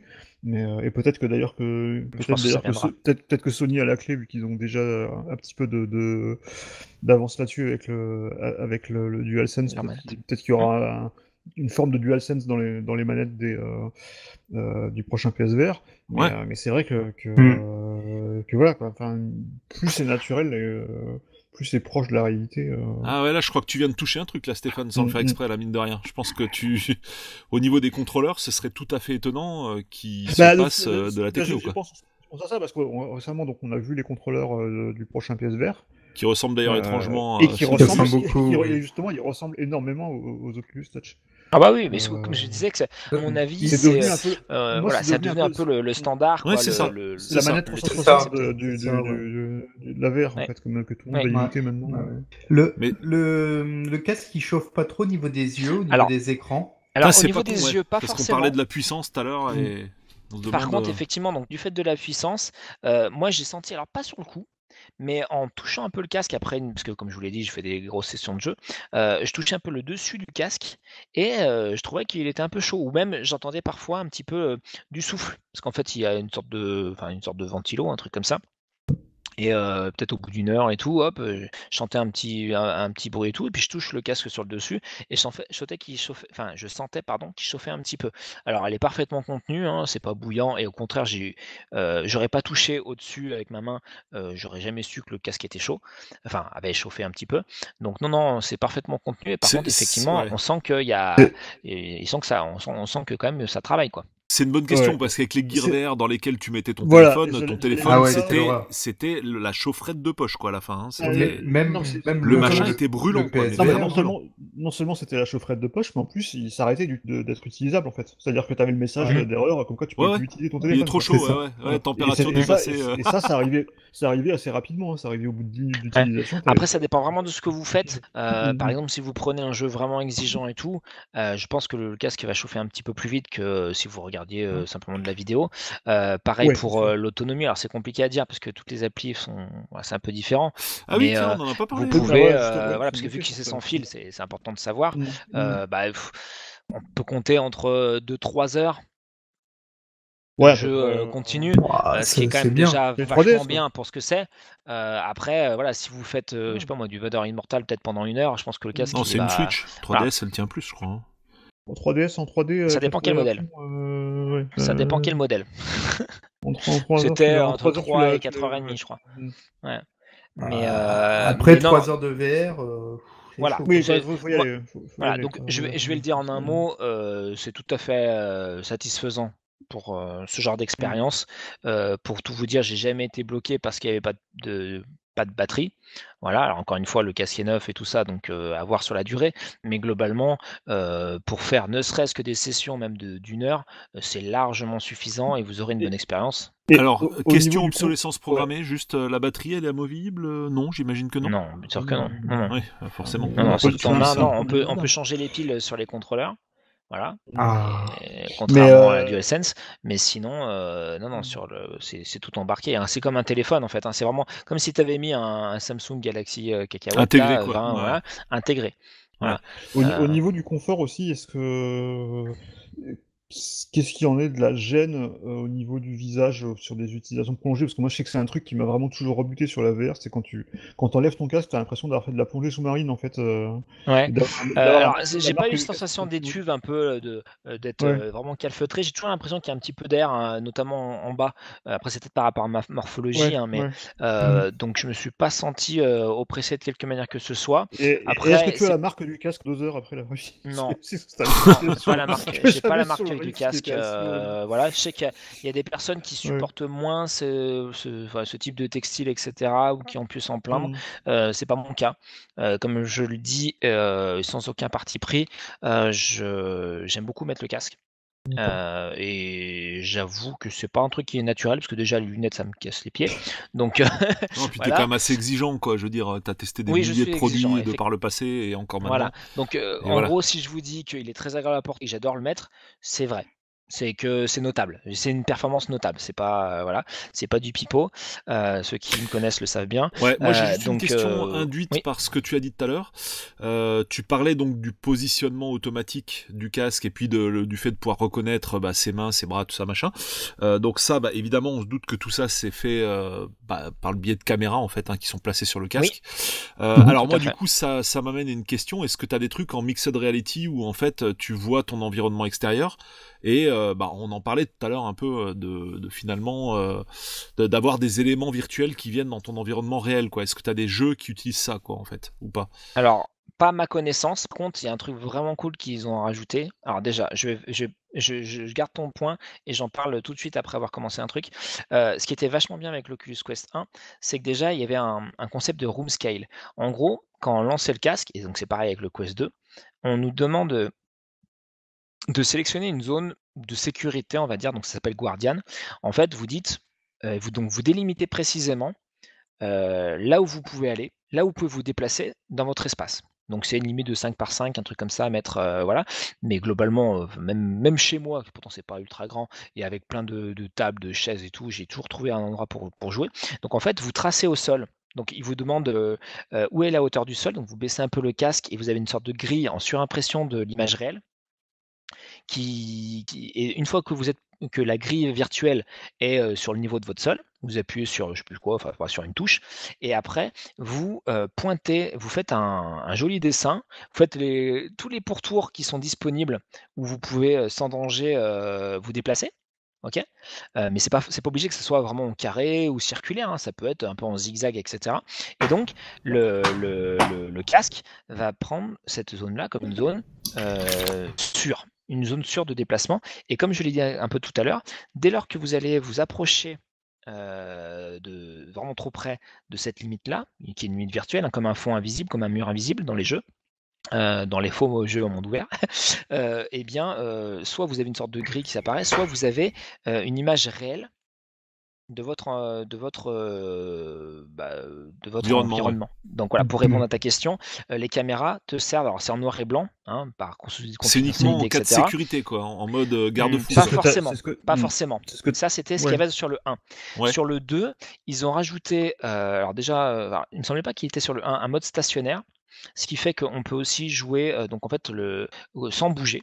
Donc avec le room scale, vous pouvez bouger. En mode stationnaire, de base, euh, le, casque part du principe que vous ne bougez pas. Donc les jeux vont, euh, en tout cas ceux qui sont bien faits, euh, vont partir du principe que vous êtes assis. Donc c'est tout bête, mais vous savez, entre assis et debout, vous n'êtes pas à la même hauteur du sol. Et donc en fonction des jeux, bah, c'est bien de pouvoir que le casque sache qu'on est assis et du coup il va pas nous proposer euh, de euh, d'a- d'a- d'atteindre une table qui est à- au-dessus de notre tête ou des choses comme Mhm. ça. Et l'autre point qui est intéressant, c'est que euh, si on est en stationnaire et qu'on bouge, et ben euh, hop, ça s'arrête quoi. Enfin, comment dire, euh, il- il- le, le casque perçoit qu'on n'est plus en stationnaire. Euh, voilà. Et donc je reviens à l'idée de, de- des caméras qui peuvent nous montrer la réalité par instant. Alors on a deux possibilités, pareil, qui sont optionnelles. On a la possibilité, au lieu d'avoir, comme je vous l'ai dit, un, un univers virtuel dans votre, en guise de, menu principal de HUD, de hub, pardon. Donc comme je vous disais, vous êtes dans un, petit chalet au bord du feu, etc. Vous pouvez enlever ça et afficher, en noir et blanc toujours, votre réalité. Donc par exemple, si vous avez quelqu'un ou un chien qui peut passer de temps en temps, bah, vous restez comme ça, et comme ça, vous, vous voyez quand même ce qui. Vous êtes, vous n'êtes pas complètement isolé. Vous pouvez, si vous le souhaitez, mais vous pouvez aussi voir en permanence ce qui se passe autour de vous. Premier point. Deuxième point, il y a une option euh, en tapotant deux fois sur le, casque, pareil, une option à activer. euh, vous passez en mode euh, qu'est-ce qui se passe autour de moi? Par exemple, ça m'est arrivé, voilà, ma compagne qui me dit ah, machin, quelque chose. Bon, je double tape, je vois où elle est et je lui parle. Et après, hop, euh, je reviens sur mon jeu et tranquille. Ça, c'est un truc qui, euh, En gros, qui est ça met le jeu en pause et puis ça te bascule sur l'audio et le. voilà, Enfin, ça te coupe l'audio et du coup, si t'as ça- pas les, les bouchons dans les oreilles. euh, exactement. Et surtout, Mhm. on voit, on voit ce qui Alors se passe. si, quoi. oui, alors par contre, ma question, si t'as, je sais pas si t'as fait le test, mais si tu as les bouchons dans les oreilles, du coup, ça t'envoie le son de la pièce dans le casque ou euh, ou pas? Alors, j'ai pas fait le test avec ça. Euh, c'est possible que oui, parce qu'il y a un micro et que Ah ouais, bah ai s'il y pas a un parlé, micro, mais oui, je on pense peut faire, euh, faire ça, ouais. c'est possible. Mais c'est Voilà. quelque chose que ça c'est quelque chose que tu avais déjà sur le Vive. euh, je me rappelle quand j'avais fait la démo euh, du premier Vive quand on l'avait fait au Mobile World Congress, il y avait déjà cette option en fait, tu avais un bouton sur le côté du casque en fait qui te permettait Mhm, de voir mhm. la réalité Mhm. euh, Hmm. momentanément. l'avoir tu, ouais, tapotes deux fois sur un sur côté et hop, ouais. euh, ça je trouve ça euh, Mhm. très cool parce Ouais, que c'est un des principaux reproches qu'on fait au, au casque VR et à raison, c'est que ça nous occulte du reste et qu'il peut se passer Mhm. n'importe quoi, on le voit pas.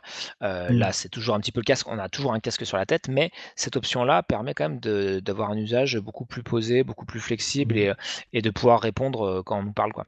C'est tout bête, mais euh, voilà, moi je sais que j'ai pareil, j'ai un, casque Sony XM3 euh, donc euh, qui euh, a une option où quand je pose la main euh, sur une des oreilles, enfin un des, ouais, un des écouteurs, on va dire, ça enlève le, le, le son. Ouais, euh, un mode, un mode transparence où tu as, Voilà. le son qui filtre. c'est ce que j'appelle le Euh, passe-fou. Voilà. Il Ça est, c'est cool. il est suffisamment tard pour cette question. Y a-t-il du contenu pour adultes? Alors, au risque de paraître parfaitement naïf euh, et, euh, et prude et candide et machin, j'ai pas regardé.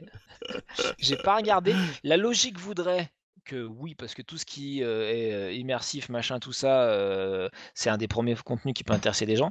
Je t'avoue que j'ai pas cherché, Euh, donc j'en ai aucune idée. Euh, mais j'imagine que oui. Mais je, je- voilà, Euh, je- je, je- pouvoir. je- euh, je peux pas. En tout cas, ça m'a pas été proposé, tu vois. Pourtant, j'ai quand même farfouillé dans le Faut faire un tout, Konami. Code euh, au lancement Voilà, du casque. peut-être. hein. Oui, il faut, Ou faut une aller option, sur Pornhub. euh, voilà. euh, Euh, parce que justement, le- bonne le question, en parlant de, en parlant de, Oui. de compte, et on, on abordera un sujet brûlant euh, qui est la liaison avec les applis et évidemment avec Facebook. Euh, mais euh, depuis pas longtemps, on a la possibilité d'avoir quatre comptes, euh, trois comptes, pardon, euh, sur le même casque. C'est tout bête, Ah, c'est vous bien, ça. avez un enfant, machin, euh, c'était pas faisable avant. Euh, vous pouvez connecter jusqu'à trois comptes de mémoire sur le, sur le casque et donc switcher de l'un à l'autre, regarder vos parties, Mais- tout ça. Mais c'est un compte pareil, Facebook.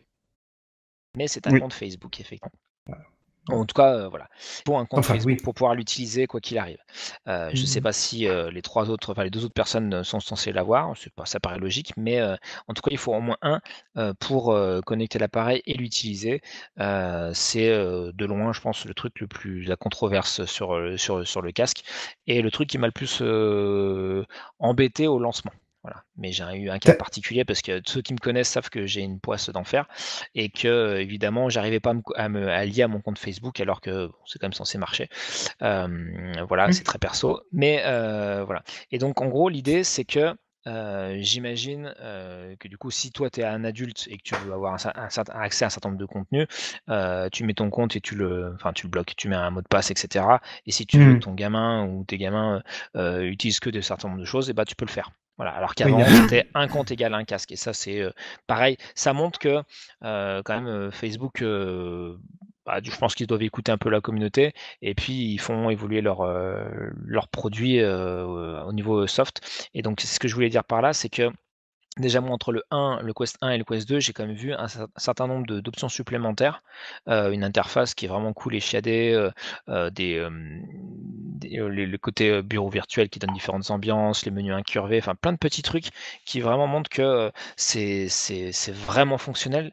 Ça fait partie, ça contribue au plaisir qu'on a à utiliser le casque. On se sent bien, c'est calme, il y a des petites musiques posées, etc. Et au-delà de ça, vu qu'ils ont ajouté des options communautaires, le fait de pouvoir, alors évidemment, Facebook ça aide, de pouvoir discuter. J'ai fait des, discussions avec bah, du coup un, ami que je salue qui s'appelle Cyril B. Et s'il écoute cette émission, j'espère, je le remercie pour son aide parce que du coup il a l'Oculus Quest depuis plus longtemps que moi. Donc du coup on a pas mal échangé là-dessus. Et ben en fait on a fait ce call, on va dire, directement dans le casque. Donc moi, je pouvais en même temps euh, voir les applications qui me conseillaient, euh, euh, faire des captures, des choses comme ça. et et c'était quand même assez bluffant parce qu'en plus, j'avais même pas mis les écouteurs, donc j'étais vraiment avec, avec les haut-parleurs intégrés dans les branches. Et, Donc là, c'est quoi? C'est en mode contrôle à distance mode, ou assistance ou euh, Non, non, non, Conférence non, il, prenait, voilà, c'est en mode, mode conférence.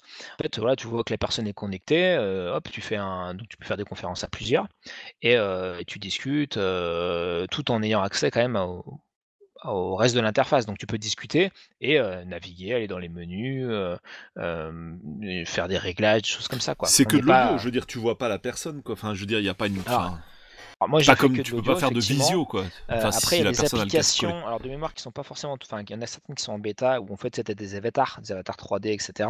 Ouais. Euh, tu as, des applications sociales. Alors, je sais pas ce qui se passe, à quel point ça peut être, euh, répondre à la question de Julien tout à l'heure sur les trucs adultes, mais en tous les cas, tu as des réseaux sociaux euh, euh, virtuels. euh, qui marchent plutôt pas mal et euh, voilà et où les gens peuvent faire des, des rencontres voilà Euh, mais euh, Est-ce que tu as Tinder sur le. Je ne sais pas, j'ai pas regardé, mais, mais, mais en fait, c'est ça qui est marrant, c'est que euh, le casque fait quasiment parfois l'inverse de ce qu'on attend de lui. C'est-à-dire qu'il nous montre la réalité alors qu'on s'attend à être enfermé dans une réalité virtuelle. Euh, il nous ouvre sur les autres par les aspects sociaux alors que bah, c'est quand même, on est tout seul avec son casque. J'ai pas précisé, euh, mais je le précisais sur l'application après. On a la possibilité de voir ce qui se passe sur l'écran via le téléphone. Voilà. Et notamment si vous avez un enfant, par exemple, ou un ami, et vous voulez voir ce qu'il ce qu'il voit, et ben vous le pouvez. Voilà, c'est tout un bête, peu à la mais voilà. PSVR où tu vois sur la télé, quoi. Exactement. Et Pour- euh, oui, Pour les jeux, tu as plusieurs stores ou ça se passe comment? Alors pour les jeux, non, il y a, enfin, ça, il y a un store unique, c'est le, enfin en tout cas en mode autonome. hein. Euh, c'est Mhm. donc euh, l'Oculus Store, euh, on va dire euh, Quest, donc euh, qui n'a pas forcément accès à tout ce qu'il y a sur le Ouais. l'Oculus VR. Voilà, mais il y a quand même, comme je disais, beaucoup beaucoup de, de, de bonnes choses et quand même, ouais, un- j'ai mis un temps au début hein, pour essayer de, de faire tout le tour. Il y a vraiment beaucoup de- d'applications avec différentes thématiques, différents filtres, euh, voilà. Euh, il y a un certain nombre de choses qui sont gratuites euh, ou qui sont pas forcément ultra chères, parce que pareil, ça aussi, je pense qu'il y avoir pas mal de, bah, plus il y a de concurrence, plus les, les, développeurs sont un peu obligés de, baisser leur prix. Et où je voulais en venir, sur le fait que dans les applications globales, j'ai été surpris de voir beaucoup d'applications de fitness ou de jeux de fitness euh, et beaucoup de motion euh, gaming. Voilà. Et tout à l'heure, quand, quand vous avez parlé de Kinect, ça a fait tilt tout de suite parce que c'est un truc qui m'a sauté aux yeux euh, assez rapidement euh, quand j'ai utilisé le, le Quest et que j'ai vu un peu le store. C'est qu'il y a, en fait, pour moi, euh, la, la porte de sortie ou le vrai avenir de, du motion gaming qu'on a connu donc avec la Wii et tout ça, hein, c'était voilà, bouger des contrôleurs ou bouger son corps pour jouer le jeu vidéo. Bon, Aujourd'hui, on n'en parle plus trop. Et ben, c'est justement sur la VR. Ah bah oui. Euh, Et c'est, et, et c'est pas étonnant qu'on voit euh, donc Harmonix qui a fait notamment euh, l'excellent Dance Central sur Kinect qui a fait du coup une déclinaison de Dance Central sur, euh, sur Oculus euh, arriver sur ce support-là. C'est tout nommé. On parlait de Beat Saber, qui est un jeu, on va dire, plutôt de musique, un jeu plutôt de rythme, où en gros, euh, vous avez des sabres, il faut euh, couper des notes qui vont vers vous, enfin des blocs qui vont vers vous. Il y a plein de jeux de ce type-là, euh, qui donc du coup vous demandent des mouvements. Euh, il y en a qui, euh, euh, vous savez, c'est un peu la mode, mais euh, dès qu'il y a du mouvement, on vous dit bah, combien de calories vous avez dépensé, etc. etc. Il y a des Beat choses Saber, où- juste Oui. Beat Saber, j'ai un, j'ai un pote qui a fait une sciatique à cause de ce jeu en fait. C'est-à-dire que Ah ouais? il est, Ah, ouais, ouais, il ouais, est ouais. devenu mais accro à Beat Saber, mais vraiment accro. Il peut plus se passer Ouais, du jeu. Et il s'est démentiel, hein. pété le dos avec ce truc quoi. Il paraît qu'il Ouais. est T'as- Bah, Il y, a- il y y a- y a Super Hot VR aussi, excellent, Ouais. qui est enfin, la meilleure version du jeu en fait, parce qu'en fait, quand t'enlèves la VR, le jeu est cool, mais c'est plus le même jeu en fait. Et Super Hot VR, euh, donc c'est un jeu, euh, pff, comment on peut dire ça, Euh, de tir, ouais, on peut Ouais, dire ça, mais pas en mode bourrin, c'est en en fait- mode où en fait, dès qu'on fait une action, le temps avance. Voilà. ouais. Et ça, Donc c'est en fait, marrant tu réfléchis, tu Mm. te dis est-ce que et ça, et donc des fois il faut que tu te baisses, tu te contorsionnes, et donc ça m'étonnerait pas que ton pote se fasse mal aussi sur ce jeu-là si jamais il Ouais. essaye. C'est assez marrant d'ailleurs. Beat, Eh oui. Beat Saber d'ailleurs, c'est c'est assez marrant parce qu'en fait, c'est un jeu euh, que j'ai récemment découvert en version non VR, est aussi génial en, en version euh, 2D euh, euh, Ouais. sur console, et, ce qui est- il, était sorti- il était tombé dans le Game Pass notamment. Et j'avais j'avais j'avais toujours refusé d'y jouer jusqu'à maintenant. À cette version-là qui était pas en VR parce que j'étais persuadé qu'en- que sans la VR c'était pourri en fait et en fait non c'est aussi très très bien sans la Non, VR non, le jeu est très bien, mais, c'est mais euh, juste que c'est vrai, c'est vrai que du coup, euh, l'expérience en VR est, est assez fou. Et Beat Saber, Beat Saber, ce qui est, ce qui est assez dingue, c'est que c'est, enfin, ça, ça combine en fait deux sensations qui sont géniales. C'est celle d'être un super batteur, parce que tu, du coup, tu fais des trucs en rythme de, de malade, et, euh, et Ouais. aussi euh, de, bah, de, de tenir une épée laser dans chaque bras, c'est quand même sympa. Euh, Ouais. Non, c'est vraiment, Ouais. vraiment excellent. Et le gros plus justement de, de Super Hot en VR sur le Quest, c'est Mm. que vu que euh, en fait chaque mouvement fait avancer le temps, Mm. euh, donc la, la dimension vraiment de comment j'esquive, où je pointe, etc. est ultra importante. Et donc là, Mm. le fait de pas avoir de câble, donc d'être parfaitement libre de ces mouvements, euh, c'est la quintessence de le- l'expérience. C'est ce que je voulais dire par là, c'est que euh, t'es- il n'y a pas mieux pour jouer à Par contre, Super Hot que d'y jouer en VR. Dans la, euh, dans, dans la version, dans la version VR, du coup, tu bouges pas. Enfin, tu t'av- t'avances pas dans un, dans un niveau. Ou comment ça se bah, passe? t'avances dans le niveau quand tu euh, dès que tu bouges dès que tu bouges Oui, ça non, je, avance non, mais je, le veux- temps. je- je veux dire, Donc, euh, tu peux- Saber, en fait, sur... euh, ah le- c'est un carrément FPS, rail c'est en fait C'est carrément FPS, d'accord, c'est en, mode rail, d'accord. Parce que dans, Un peu, dans, ouais. la, dans la version dans la version console ou PC, Mhm. euh, c'est carrément un FPS en fait. euh, Enfin, les, c'est carrément les contrôles d'un FPS quoi. T'avances carrément. oui bah après tu peux euh, euh, vu que t'as les joysticks et tout enfin mm, il y a mm. rien qui t'empêche de, de déplacer comme ça dans D'accord, ouais, hein. après ça fait un en moment que j'ai pas joué mais euh, euh, voilà et donc au niveau de enfin de donc de, de, de la liaison la fameuse liaison dont je vous ai parlé quand vous achetez le Quest euh, vous êtes obligé de le lier à une application qui est gratuite évidemment, Oculus. Euh, donc du coup, vous êtes obligé d'avoir votre téléphone, au moins au lancement. Donc euh, c'est super bien fait. Il y a une sorte de, de, de sans fil, comment on appelle ça, Wi-Fi direct. Euh, donc il n'y a même pas besoin de mettre un accès Wi-Fi. J'ai été, oh, bon, comment c'est possible? Euh, Donc ça se connecte à l'application Oculus. Et, euh, et là, du coup, bah, pour utiliser le casque, il n'y a pas le choix, il faut se connecter à Facebook. Donc du coup, il faut avoir un compte ou Ah, créer. la partie qui fâche, quoi. Voilà, bah, c'est voilà, c'est le truc le plus euh, euh, contraignant, on va dire, du casque, parce que euh, avant on avait le choix de créer un compte euh, Oculus. Et d'ailleurs, j'avais un compte Oculus euh, tout court. Euh, et en fait, j'ai dû lier mon compte Oculus à mon compte Facebook personnel. Et euh, bah, c'est là où moi j'ai eu un problème, c'est qu'en fait ça marchait pas. Est-ce que pour le- vous, est-ce que pour vous, ça fait sens que Facebook ait acheté Oculus? Euh, Oui et non. Je- Oui, dans la mesure où, comme ils ont loupé le mobile euh, complètement, euh, enfin. euh, Louper ils le mobile, ra- rappelle un peu l'historique. Du- mobile, euh, hardware en fait. Euh, ils avaient essayé de faire un truc avec HTC qui était complètement pourri. Raconte un peu Euh, le, enfin repl- replonge dans le contexte du Ouais. Facebook Phone.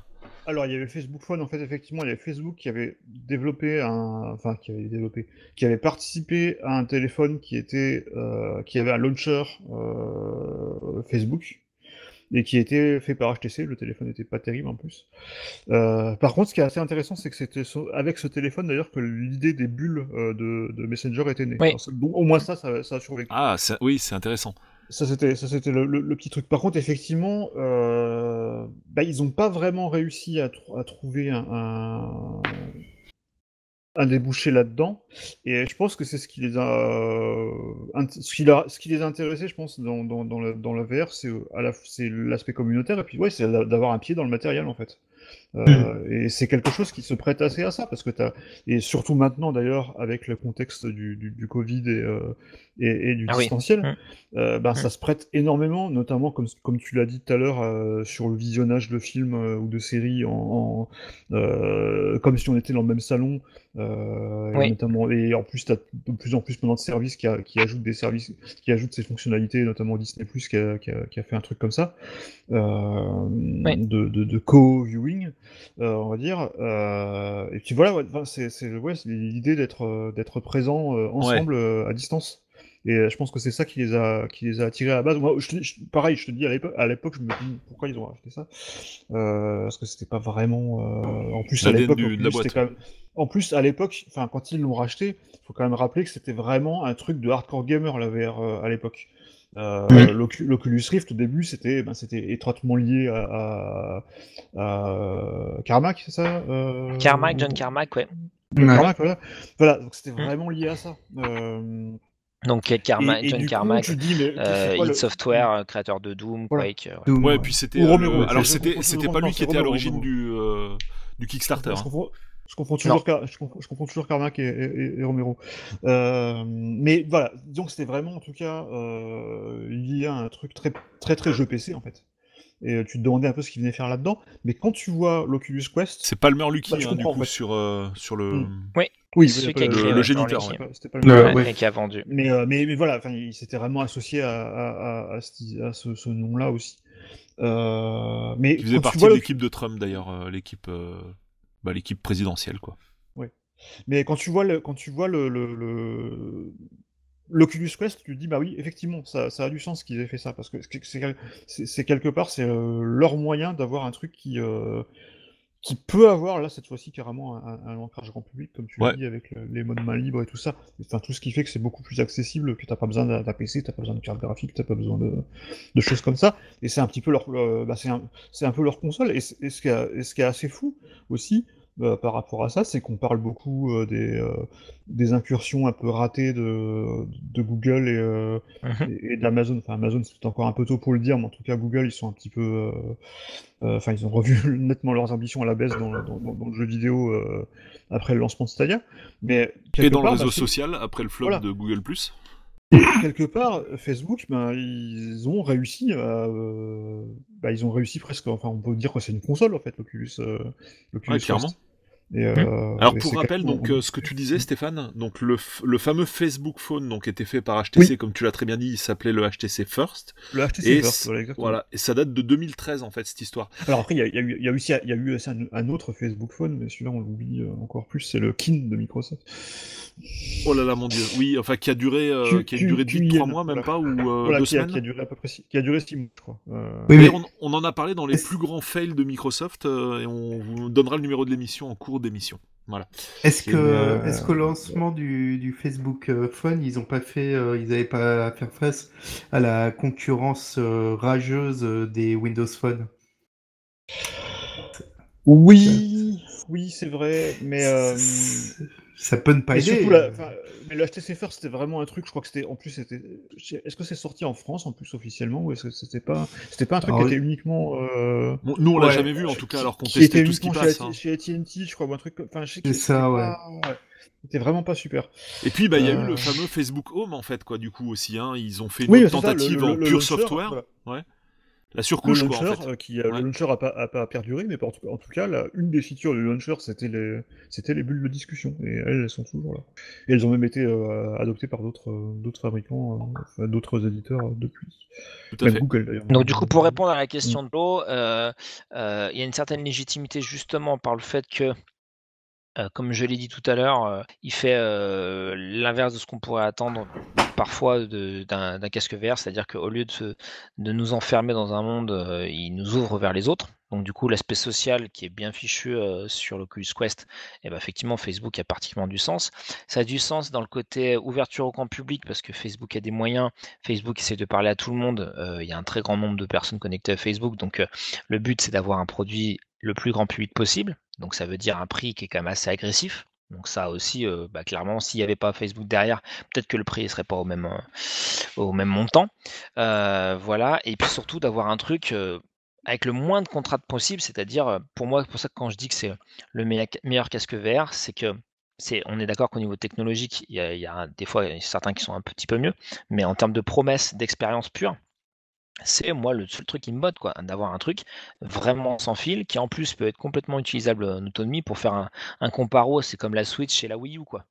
La Wii U, c'est sympa, mais tu es quand même dépendant de la. De, enfin, donc le gamepad, c'est sympa, mais tu es obligé d'avoir la Wii U derrière qui tournait, en fil, etc. La Switch, tu peux jouer dans ton lit, quoi. Ouais, c'est une très bonne Euh, bah, comparaison quoi, pour le coup. Voilà, c'est une comparaison qui pour moi est limpide. C'est euh, pour moi la seule, le, enfin, le seul moyen d'avoir des, des- des casques VR qui intéressent vraiment le grand public. Il faut qu'ils soient sexy, il faut qu'ils soient légers, il faut qu'ils soient pas trop trop chers et il faut qu'ils soient sans fil. Point.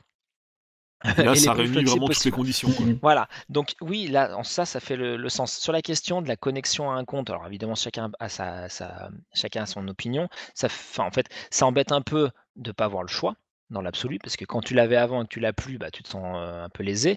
Euh, à l'inverse, si tu prends ton téléphone portable euh, Google ou Apple, bah, tu es bien obligé de te créer ton compte Apple ou Google pour, euh, pour l'utiliser.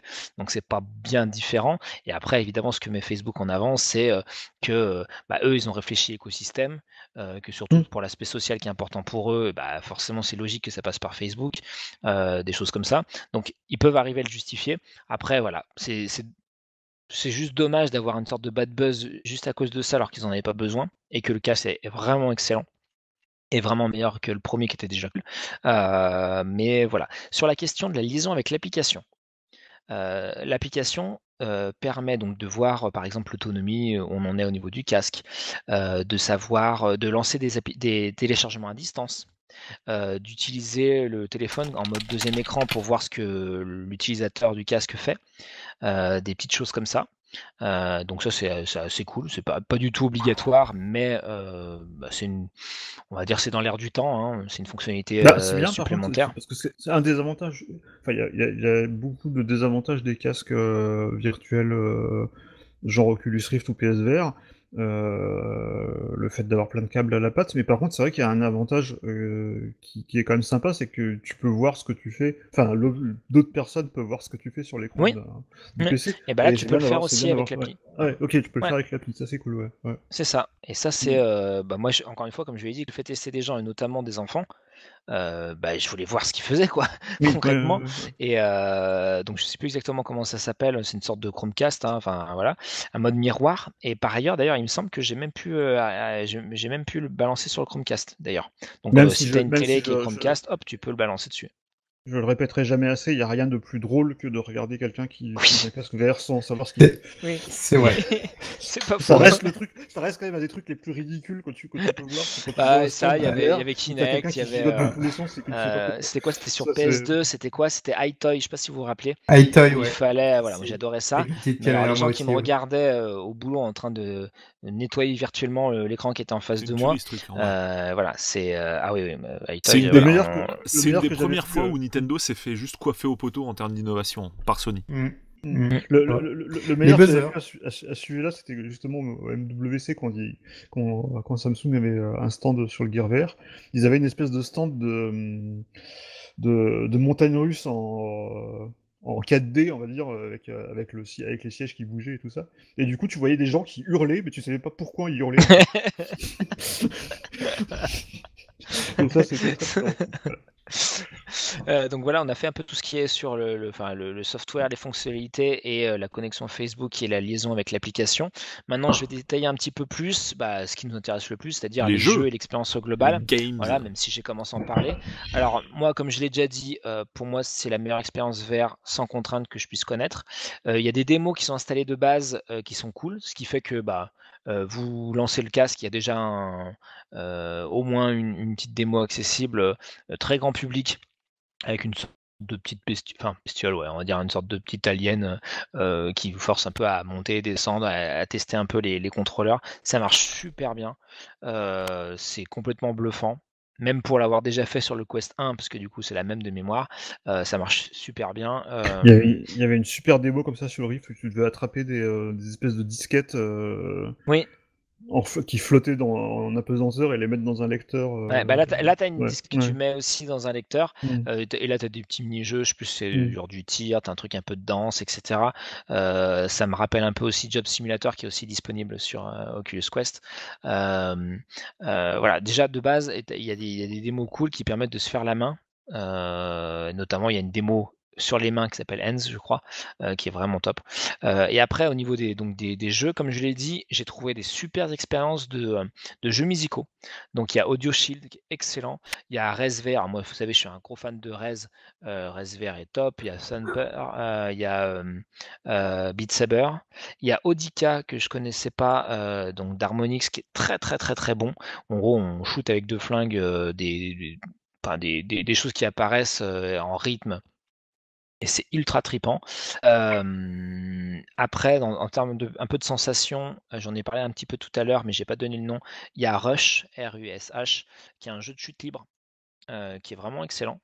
Alors, euh, il s'avère que malgré mon côté blanc à chaussures noires, j'ai fait une expérience de chute libre indoor euh, que je voulais pas faire, c'est pour ça que je l'ai faite, et, euh, qui m'a vraiment retourné. Et euh, donc sans dire que c'est la même chose, on va pas non plus mentir, j'ai retrouvé des sensations. Euh, de, la chute, notamment avec les petites vibrations que j'avais sur les contrôleurs euh, qui te font un peu ressentir quand tu, bah, euh, que es en train de descendre et que tu as le, vent qui fait un peu, comment on appelle ça, qui te retient un petit peu, donc qui te fait des, vibrations. Sur le côté placement des, des mains, parce qu'en fait en chute libre, je sais pas si l'un de vous en a déjà fait. Non. Non. non. Jamais, En, jamais, en jamais. fait, en chute libre, le placement des mains, bon, tout est important, mais le placement des mains, euh, de l'alignement du, du corps, des bras, des jambes, bon là pour le coup les jambes et les bras c'est pas ça, mais les mains sont vraiment importantes. Par exemple, si vous voulez aller à droite et vous inclinez votre main, donc on va dire qu'elle est à plat, et bien centrée face à vous, face à votre regard. Si vous, vous tournez les deux mains légèrement à droite, vous allez aller à droite. Si vous tournez légèrement à gauche, vous allez à gauche. Si vous mettez en bas, vous allez plonger, et si vous mettez en l'air, vous allez euh, euh, par vos bras qui vont aussi suivre, euh, bah, entre guillemets un peu décoller, en tout cas décoller par l'avant et certainement couler par l'arrière. Euh, voilà. En fait, dans, dans- en chute libre, chaque mouvement de, de- des membres euh, va incliner votre corps Mhm. et donc va faire que vous allez aller dans une direction plutôt que dans une autre. Et j'ai retrouvé plutôt ça dans Rush, donc ça m'a fait plaisir parce que c'est voilà, on n'a pas le l'occasion de faire de la chute libre tout le temps. Et sans dire que c'était pareil, c'est des sensations qui sont, qui sont cool. Et j'ai bien aimé. Il y a Moss qui a un Est-ce que tu as un petit ventilateur qui se met en route dans le casque pour simuler ta chute? Non? Non. Non, par contre, il y a un ventilateur interne- intégré quand le truc chauffe un petit peu, qui peut donner un peu cette Ce illusion-là. serait bien qu'ils combinent les deux en fait. Ouais. Pourquoi pas, peut-être pour une prochaine version. Euh, Moss, donc le jeu avec la, la petite souris, euh, où en fait on est en vue un peu omnisciente. Après, tu peux Et prendre, un, prendre un ventilateur en face de toi et Oui. puis voilà. Oui. Tu peux même l'automatiser ou enfin, je vais faire trouver un truc. Voilà. Donc je parler de Moss, M-O-2-S, euh, qui est un jeu où en fait on, suit l'aventure d'une l'épopée d'une petite euh, souris qu'on guide. Il y a plein de jeux un peu de ce type-là où en fait on est omniscient et on se balade euh, d'écran en écran. Donc pour le coup il n'y a pas de motion sickness parce que c'est vraiment statique, mais c'est mignon tout plein. C'est quand même super bien réalisé. Et là pour le coup pour moi c'est assez équivalent à ce, qu'on ce que j'ai pu voir sur, sur PS4. Il y a les trois Vador Immortal qui sont des jeux Star Wars en première, per- enfin, première personne, ouais, en vue euh, première Mhm. personne, euh, où on manie évi- évidemment souvent le, le sabre et qui sont assez cool, voire très cool, et assez beau, euh, voire très beau. Euh, ce que j'ai adoré, parce que je suis un gros fan de ping, enfin de tennis de table ou ping-pong, c'est comme vous voulez. Il y a deux jeux qui sont vraiment cool. Il y a Eleven Table Tennis et Racket Fury. Euh, alors les deux ont leurs adeptes. Moi j'aime bien les deux. Euh, avec une mention spéciale avec Racket Fury, donc c'est là où je serais pas trop d'accord avec mon pote euh, Cyril B, euh, parce qu'en fait, en termes de technicité, de rapport à- au bon geste, il y en a un qui est un peu plus proche de la réalité que l'autre. Mm. Mais les deux sont vraiment très bons. Et pire que ça, j'ai poussé le, le, le- le- vraiment le, le test au paroxysme. hein. donc là, vous, vous pouvez me remercier. J'ai testé le mode multi en ligne, parce qu'il y a pas mal de jeux aussi qui sont multi. Mhm. Euh, donc tennis de table avec un Italien qui parle anglais. Voilà. Euh, et euh, et j'ai passé un super moment. Euh, Ça doit être vraiment cool, franchement. c'est ultra cool. T'as En fait, euh, pas- et j'ai fait un, gagné. re- un remake des bronzés en fait. C'est ça. Et là, tu peux jouer juste avec tes mains en mode euh, jouer à la pala basque, euh, non ou, euh, Genre, tu À tapes la avec la main dans la balle? La, la pala, un- en fait en- au Pays Basque, c'est un jeu Oui. où euh, oui, oui. t'as un fronton en fait et tu, tu tapes à la main, enfin pour les, Mm. les meilleurs joueurs, on va dire les plus costauds, quoi, Ouais. hein, parce que je Ouais. te dis pas la. Ça fait mal. Ouais. Ça fait un peu mal. Les mecs ont quand même un je- petit peu de la tu joues avec les contrôleurs et, euh, et en fait, ce qui est bien, c'est que euh, l'inclinaison, elle est, vra- enfin, euh, il y a très peu de latence. Donc, euh, si tu as de la latence, c'est plutôt le, le netcode, en fait, c'est-à-dire le, le débit qui, qui le fait, plutôt Ouais. que le périphérique. Et donc, euh, euh, à- au bout de, je sais pas, peut-être 5 minutes, j'ai retrouvé mes sensations parce que je n'ai plus de table, de table de tennis de table à la maison. Donc, bah, Mais est-ce que tu as encore table tennis sur euh, 360 Bien sûr. Bien sûr. Mais pour le coup, voilà, euh, euh, les deux jeux que je viens de citer euh, explosent euh, Ouais. Table Tennis, même s'il est très bien un jeu de Rockstar, effectivement, sur 360, euh, parce que là, tu es dedans, quoi. Tu Ouais, fais bah les, oui. les- les vrais mouvements. j'ai retrouvé certains coups que j'aimais bien faire, etc. En fait, alors je crois que c'est dans Racket Fury, c'est aussi pour ça que je le préfère de mémoire, mais à vérifier parce que je me rappelle plus trop de l'Event Table Tennis sur ce point-là. Mais en fait, on peut choisir la hauteur de la table par rapport à son Mm. corps. D'accord. Et ça, c'est hyper important parce que la- l'appréhension, euh, le- les mouvements qu'on a au naturel, si la table n'est pas au même niveau qu'une table normale, eh ben, c'est plus pareil. Donc Mm. euh, on- voilà. Et, euh, et du coup, euh, bah, sur Racket Fury, du coup, j'ai joué en ligne et tout. Et alors, j'avoue, effectivement, j'ai commencé à une certaine, un certain coin de mon salon et j'ai terminé un peu plus proche du mur que prévu. Euh, voilà. Donc ça, On ça- parlait dans la précédente émission de, de bouger ses mains avec la manette. Maintenant, c'est tout le corps en fait avec celui-là. Ah là, c'est tout Mm. le corps. Mais oh, franchement, que c'était bon. Euh, on a, on a fait genre trois parties. Euh, c'était super tendu parce que bah voilà, on a trouvé nos marques assez rapidement et du coup bah on, voilà, on- on se renvoyait quand même pas mal la balle. Donc quand tu gagnes un échange, t'es super content et tout. J'ai trouvé ça sensationnel. Je vais voilà, je vais encore une fois peser mes mots, mais euh, j'ai pas connu d'expérience euh, virtuelle de, de tennis de table équivalente Euh, et d'avoir comme ça. euh, encore une fois, hein, sans casque, sans, enfin sans câble, sans câble, sans Mhm. PC à côté et tout, de pouvoir jouer dans, dans une qualité tout à fait décente euh, avec euh, quelqu'un qui était euh, pas accessible physiquement, euh, j'ai trouvé ça très très cool. Euh, j'ai parlé de Super Hot aussi. Enfin, il y a plein, plein de jeux, euh, soit un peu dans l'ambiance, donc des choses hein, qui font un petit peu peur, ou euh, bon, il y a évidemment des roller coasters, ou tout ce qui est des trucs sur un rail, il y a un Walking Dead qui cool. Il y a des jeux multi, genre VR qui est très sympa, euh, des jeux de shoot en veux-tu en voilà, euh, du euh, Pistol Wisp, du Robo Recall, qui sont vraiment vraiment très très cool. Donc et il y a des jeux de pêche, il y a un jeu de pêche, oui, il y a un jeu de pêche plutôt sympatoche, pareil, c'est bucolique, hein, c'est assez chaleureux visuellement, etc. Mmh, mmh, mmh. Il y a je crois The Wizard, des trucs de, magie qui sont vraiment cool. Ah oui. Je me rappelle plus du nom de de, de l'application de dessin en 3D. En fait, c'était un euh, truc euh, très noir, euh, mais il y avait mmh. aussi sur le. J'ai sur l'HTC Vive à l'époque. Sur le Vive, ouais, tout à fait. Ouais, le, Google, le truc de Google. ouais, ouais c'est ça. Mmh. Et franchement, c'est sensationnel. c'est une manière. Oui. C'est en fait, on, comment dire, on navigue dans une œuvre. on, crée quelque chose en et mmh. c'est assez sidérant. Moi, je trouve, voilà, je, je, toujours aimé. Ah, mais ça, ça doit connais la démo. Euh, c'est. Tu peux naviguer aussi dans les œuvres faites par les autres, j'imagine, mm. enfin dans le dans le jeu. Alors, je sais pas. testé, mais oui, je pense que oui. Si tu mm. enfin, si as un accès à, aux créations des autres, euh, je pense que tu peux aller dessus. Mais j'avoue que j'ai pas mm. testé, donc je vais pas m'avancer là-dessus. Tilt Brush, euh, le. Oui, voilà. Euh, t'as un jeu d'escalade, The Climb, qui est vraiment cool. Euh, ah oui. T'as des petites aventures sympas, type un peu escape game, genre euh, I Expect You to Die. Il y a un autre Star Wars, c'est Star Wars Tales of the Galaxy's Edge, qui est, pas mal. Ouais, c'est vraiment, enfin, il y a c'est un monde à part en fait quoi finalement la VR. Hein. Il n'y a aucun titre que tu cites euh, qu'on connaît, euh, même même dans l'indé en fait euh, sur les consoles classiques. Bah, Enfin, même si, ouais, ouais, oui, oui, d'accord, d'accord. Il y en a, mais il y a quand même beaucoup beaucoup de trucs qu'on va pas retrouver quoi finalement. Bah, parce que, mais moi je trouve je trouve ça intéressant ah non, mais tant mieux, en fait. Hein. Justement, c'est. T'as un, jeu un peu à la style ICO qui s'appelle Mare, M-A-R-E, qui est assez sympa. Euh, tu as des, un truc comme The Rabbit Hole, qui est un truc un peu à la, Alice. Euh, Ghost Giant, qui est vraiment cool aussi. Euh, T'as du Star Trek, bon voilà, mais c'est. Même, ah même la démo de Rocky, il y a un Rocky, la démo est pas mal, parce qu'il y a pas mal de mmh. jeux de boxe. Alors, je suis pas forcément fan parce que des fois, la vue est trop proche de l'adversaire. Euh, donc c'est pas très réaliste. Et puis c'est vite fatigant, euh, voilà. Et puis bah, si jamais t'as quelqu'un qui passe devant toi, bon bah tu lui fous un pain, hein, faut, être, euh, faut être clair. le pinball FX c'est super bien. Apollo. Dance Roll est top. Il y a vraiment des. Même Angry Birds, Angry Birds VR est vraiment sympa. Ça, pareil, ça, tu, tu, ouais, tu changes de dimension, quoi. Euh, t'as Journey of the Gods, euh, il y a vraiment beaucoup de jeux. Bah, même Fruit Ninja, c'est sympa pour dire, alors que j'aime pas ça à la base.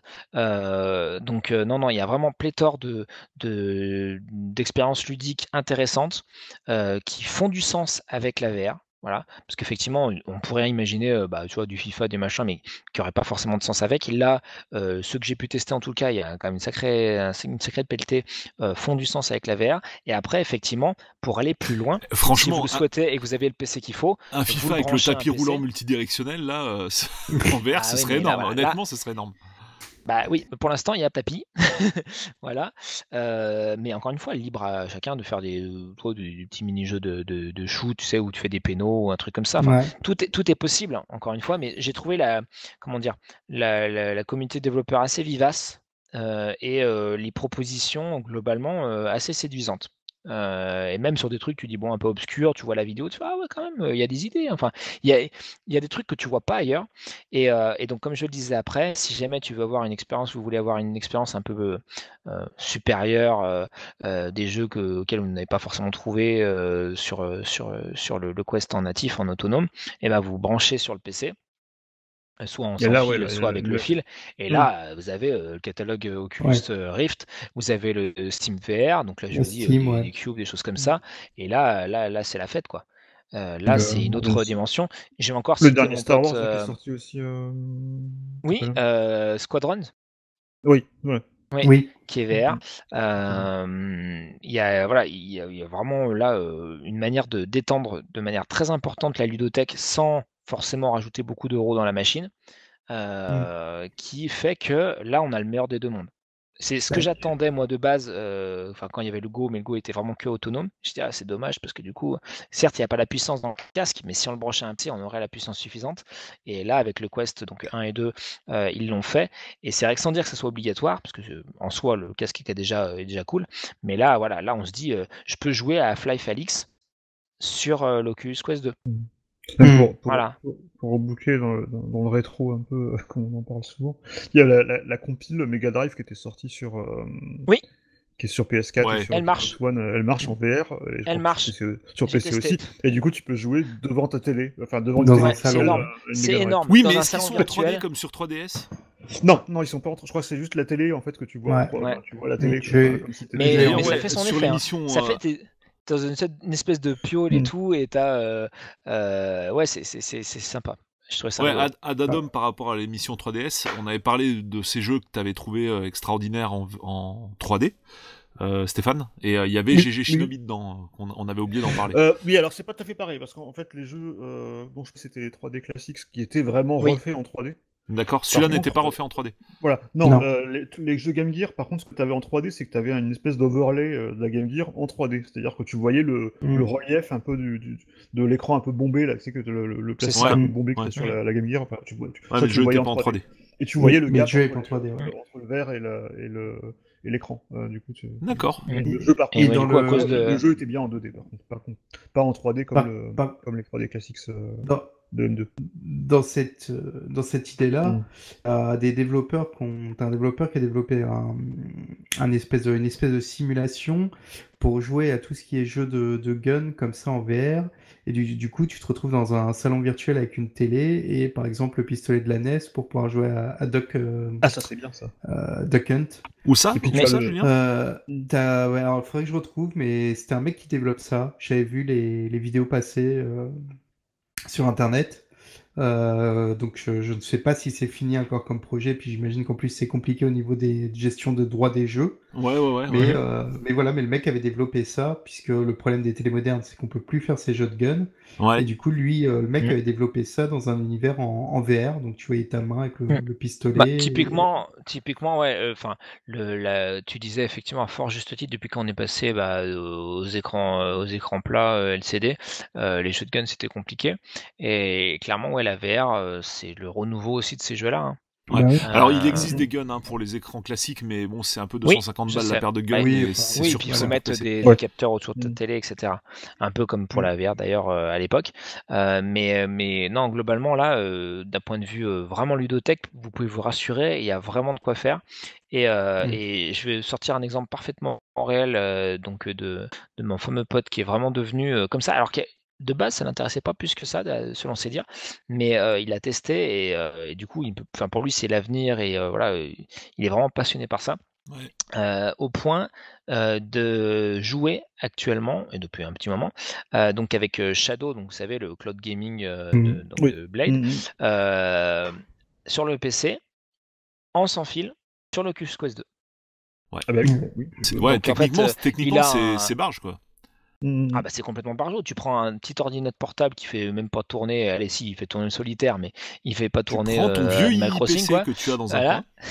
voilà ton IPC qui fait euh, même pas il fait tout juste non il fait pas tourner Windows 10 quoi Voilà, Tu déjà, le bureau de Windows, c'est voilà. compliqué. tu, tu, tu te mets sur un, sur un, sur un shadow, peu importe, et, euh, euh, directement en sans fil, c'est sur ton casque, et tu joues à, du coup à Half-Life Alyx en top qualité.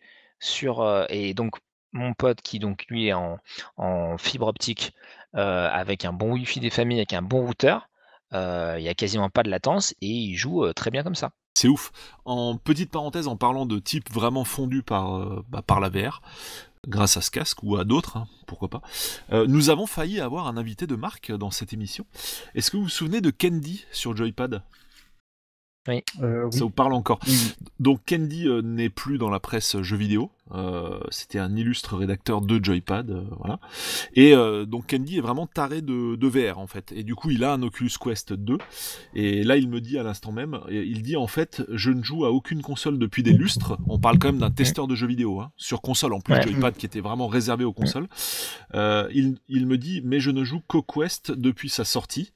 Depuis l'immersion via une télé, je n'en peux plus. Le JV, c'est pour te faire rêver, te dépayser. Et la VR est juste parfaite pour ça, être plongé dans un autre monde. En gros, il, enfin, donc, un testeur de jeux vidéo, donc qui était, euh, bah, qui avait toutes les consoles, qui était fan de, évidemment fan de jeux vidéo et plus particulièrement Mm. de consoles, n'utilise Mm. désormais plus que ce support. C'est intéressant quand même, Ouais. comme. euh, Ça, ça Comme opinion. En fait, euh, c'est, c'est, alors encore une fois, donc vous me connaissez, j'ai, enfin, testé beaucoup beaucoup de jeux, j'ai été journaliste euh, jeux vidéo pendant 15 ans, etc.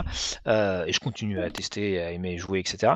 Mais quand vous quand vous utilisez le casque et que vous testez une application vraiment cool, euh, comme Beat Saber, comme Audica, etc. euh, vous avez, enfin moi j'ai eu en tout cas, euh, la sensation de retrouver l'émerveillement que j'avais quand j'allais dans les bandes d'arcade de tester des bandes d'arcade où tu avais un truc qui était quasiment inaccessible d'un point de vue technologique par rapport à ce qu'on pouvait avoir à la maison. Et c'était du rêve. Alors, ça coûtait cher, mais t'étais dans dans un truc magique, quoi. C'était. Comment dire un, truc qui paraissait inaccessible, qui était de toute manière dans la durée très très courte, parce que tu savais que ta, partie allait pas être éternelle, et qu'à un moment il fallait que tu rentres chez toi et qu'il fallait que tu regardes ta NES dans les yeux en disant ah ouais bon bah, c'était mieux c'était mieux là-bas et, sauf que là tu as ça tout le temps avec toi sur ta tête et, et que c'est tellement agréable que bah ouais t'as qu'une envie c'est de pouvoir le remettre quoi et, de retester d'autres jeux parce que tu en as vu dans tous les sens euh, et que tu te dis que peut-être que tu peux tester des bidouillages, parce que je suis assez aussi euh, dans, dans, dans la bidouille, j'aime bien aller au, fond des choses et voir si euh, avec ci et ça et telle option, on peut pas encore améliorer l'immersion. C'est sensationnel. Et, et en fait, c'est vrai qu'avec l'arrivée des nouvelles consoles et du peu de vrais jeux next-gen, euh, bah, les consoles sont arrivées, on a fait ah ouais d'accord, bon. Et puis what next quoi? Que- Qu'est-ce que qu'est-ce que vous avez- à part la- les- l'immersion apportée par la DualSense qui vraiment là m'a bluffé et qui est très très cool. Mais au-delà de ça, bon, ça, ça reste euh, sur quelque chose, euh, une, une expérience on va dire un peu plate euh, qui sort pas des sentiers battus. Et en fait, quand on met le casque, même si les casques VR existent depuis un moment, euh, et ben on est quand même, moi j'ai quand même réussi à être bluffé. Où je me Non suis mais dit, ouais. oh, Alors ça, c'est- là-dessus, je... ce qu'on- mm. ouais, vas-y Stéphane. C'est ce qu'on disait sur la, sur la 3DS hein, euh, quand, on, a- Oui. enfin, non, quand on a évoqué la 3DS, que c'était vraiment un truc complètement nouveau qu'on pouvait même pas décrire en fait, euh, et qu'on pouvait pas montrer parce que euh, euh, tu peux pas montrer euh, un jeu 3DS sans montrer une 3DS. Et, Mhm. euh, et qui apportait quelque chose de vraiment des, des choses complètement nouvelles qu'on n'avait jamais vues. euh, Enfin, Ouais. on avait parlé de, de- des évolutions, mais, mais dans les jeux de plateforme notamment où tu, où tu voyais la profondeur des plateformes, etc. Mais Mm. euh, par contre, par rapport à ce que ce que disait Polo sur euh, sur Candy et, ce qu'il dit sur, c'est moi j'aimerais bien en être là, mais le truc c'est que bah, il manque le, il y, a, toujours pas le gap entre euh, les univers euh, des jeux euh, des consoles et notamment de Nintendo, mais pas que, même, euh, de Sony ou, Microsoft, et d'autres d'autres gros éditeurs, même s'il y a eu quelques petits trucs, notamment Resident Evil 7 dont on avait déjà parlé, ou des choses comme ça. C'est vrai qu'il y a encore ce fossé. On peut pas encore, il y a des exceptions aussi, il y avait, Sky, il y avait une version VR de, Skyrim aussi, je crois. Mais grosso modo, en fait, il y a quand même encore toujours un, gros fossé entre les expériences euh, qu'on peut vivre sur les consoles traditionnelles et, euh, et la VR qui fait que pour moi, par exemple, je pourrais pas du tout euh, être de cet avis parce que, parce que ça me manquerait de jouer à. À Oui, toi tu veux dire à de, Mario, de, à- de- de- de remplacer, de remplacer Voilà. euh, Mm. euh, ta, ta, ta console par, euh, par ça. Voilà. On Mm. est d'accord que Ouais. ça n'a rien à voir. hein, moi, je Mais continue à jouer aux deux. Mais par contre, l'effet waouh, tu vois, Oui, je, je l'avais noté dans mes notes. L'effet waouh, le truc de dire, ah, c'est un truc de fou, il faut que je le fasse tester, quoi. Tu vois, à un moment, j'ai- vraiment Polo et moi j'ai dit, la- mais la- il faut, il faut, faut que tu, faut, faut que je te montre, quoi. Euh, c'est, c'est- c'est ouais. tellement saisissant, c'est tellement, voilà, que tu. Bah moi je suis d'accord avec vous deux quoi. C'est-à-dire que Mm. euh, comment dire, euh, je remets pas en question une- un seul des trucs que tu dis parce que si tu le dis c'est que je pense que j'aurais exactement le même avis si j'avais le produit à la maison. Ça j'en suis. Et puis de toute façon voilà j'ai un casque euh, sur la Play 4 et pareil Mhm. j'ai des très bons retours dessus. Enfin ça dépend des jeux mais typiquement Astrobot pour moi c'est de la méga bombe à faire absolument. Ouais. Je veux dire Ah, quelqu'un voilà quelqu'un qui on peut pas dire aimer les jeux vidéo et dire euh, ce truc là ça m'intéresse pas parce que là t'aimes Mhm. pas les jeux Mhm. vidéo quoi. C'est c'est c'est comme de bouder une marque en particulier juste parce que c'est une marque en fait. C'est c'est pareil, c'est aussi con. Mais par contre, euh, je vais reprendre quoi? Je vais reparaphraser euh, bah, comme d'hab. Hein. Euh, C'était comment il s'appelle? Merde Qui est sûr Putain, c'est quand je, je cherche un nom, que ce soit en live ou en podcast, alors que je l'avais deux secondes avant de, de prendre la parole. En fait, c'est c'est assez pénible en fait ce symptôme. Notre ami bah, Télévisateur 2, Cyril Drevet. Oui, voilà, ça y est, ça revient. Mais voilà, on pense qu'on veut de Cyril de Drevet, mais c'est pas là, on n'est pas là pour débattre de Cyril Drevet, mais sa fameuse phrase sur le wearable, ça marchera jamais. Je suis complètement d'accord avec lui. En fait, euh, enfin, ça marchera jamais. Je sais pas si ça marchera jamais. Peut-être que je me trompe complètement. Mais euh, tout ce qui est euh, chose qu'on revêtit d'une manière générale, alors ça marche aussi quand on le revêtit pas, quoi. Typiquement avec Kinect, hein, alors que pourtant c'est un super Mhm. produit et Oui. tout. Mais euh, on est vraiment, enfin, pour qu'on arrive au degré d'adhésion, on va dire de, bah, de, de l'ensemble de la population des gamers. C'est, je pense qu'il y, a- il y a encore une marge. Pour moi, un peu, si tu veux, la VR, c'est un peu comme euh, ma borne d'arcade euh, Flex Arcade, tu vois. C'est un truc Mm. super cool. Euh, T'es Oui, c'est ça. hyper content de te faire une session dessus une fois de temps en temps, tu vois. Mais euh, tu vas pas te faire ça en principal. Enfin bon, Candy Oui, le fait, mais voilà, moi, parce qu'il parce qu'il parce qu'il manque, il manque, pour moi, il, il manque la profondeur, il manque la maturité. Euh, J'ai toujours, toujours l'impression de, de, quand je joue un dès que je joue à un jeu VR, j'ai toujours l'impression de trouver ça super, euh, super sympa, c'est nouveau, c'est euh, vraiment effectivement l'effet waouh est, complètement, est complètement là. Mais euh, bah, il manque toujours le petit truc et j'ai, j'ai- je peux pas, je, je, je pourrais pas, peut-être Astrobot. Euh, enfin, moi j'ai pas joué parce que j'ai pas de PSVR, mais euh, enfin tout ce que j'en ai entendu c'est que c'était presque l'équivalent d'un Mario. euh, C'est un Mario Mmh, en. VR. Et- C'est une euh, balle, je pense, c'est hein. c'est une méga balle. Mais il y a pas. euh, D'ailleurs, il est gratuit y ce a mois-ci, pas encore le- téléchargez-le. Voilà. Et y a- achetez-vous un encore- en occasion pour le faire. il y a- pas encore le, le- le Legend of Zelda de la VR, il n'y a pas encore le Metal Gear Solid de la VR, il n'y a pas encore. y a- enfin, il y a- Non, y a- après, il voilà, t'as. Skyrim VR, t'as Borderlands VR, Oui, t'as euh, complètement, complètement. Resident Evil, que je veux dire, je parle, je parle pas, tant- je parle même pas tant en profondeur et en, mais je parle vraiment de de, de l'impact d'un jeu en fait. Le Et feeling. Le truc qui fait vraiment que c'est un, cla- t'as pas, t'as pas encore de classique en fait de la VR en fait, vraiment. Bah, Euh, essaye Half-Life Alyx. ça arrivera. Hein, oui, oui, non, mais ça j'imagine que. Mais pareil, Half-Life Alyx, euh, c'est quoi par rapport euh, bah, même à Half-Life, au premier Half-Life? C'est pas les questions. Tu peux pas, tu peux pas dire que ça aura, que ça a l'impact qu'a eu le premier Half-Life, par exemple, tu vois. Et, et ça, il manque encore. Il y a, il y a un stade qui qui est pas encore passé, je trouve, euh, de, la VR, et qui fait que pour moi, c'est encore quelque chose qui est toujours prometteur, parce que je pense que ça va continuer à, évoluer et il- va continuer à y avoir des choses. euh, euh, on prête à, Apple des, intentions de, commercialiser une, des lunettes euh, de réalité augmentée, mais, pardon, il y a un truc qui est tombé, euh, ça fait du bruit, euh, mais, aussi un, mais, aussi un, mais aussi un vrai casque VR. Il y, a- il y a une rumeur comme quoi il sortirait un casque, Apple sortirait un casque Et une télé en 2022 voiture. 2023. Oui, Ouais.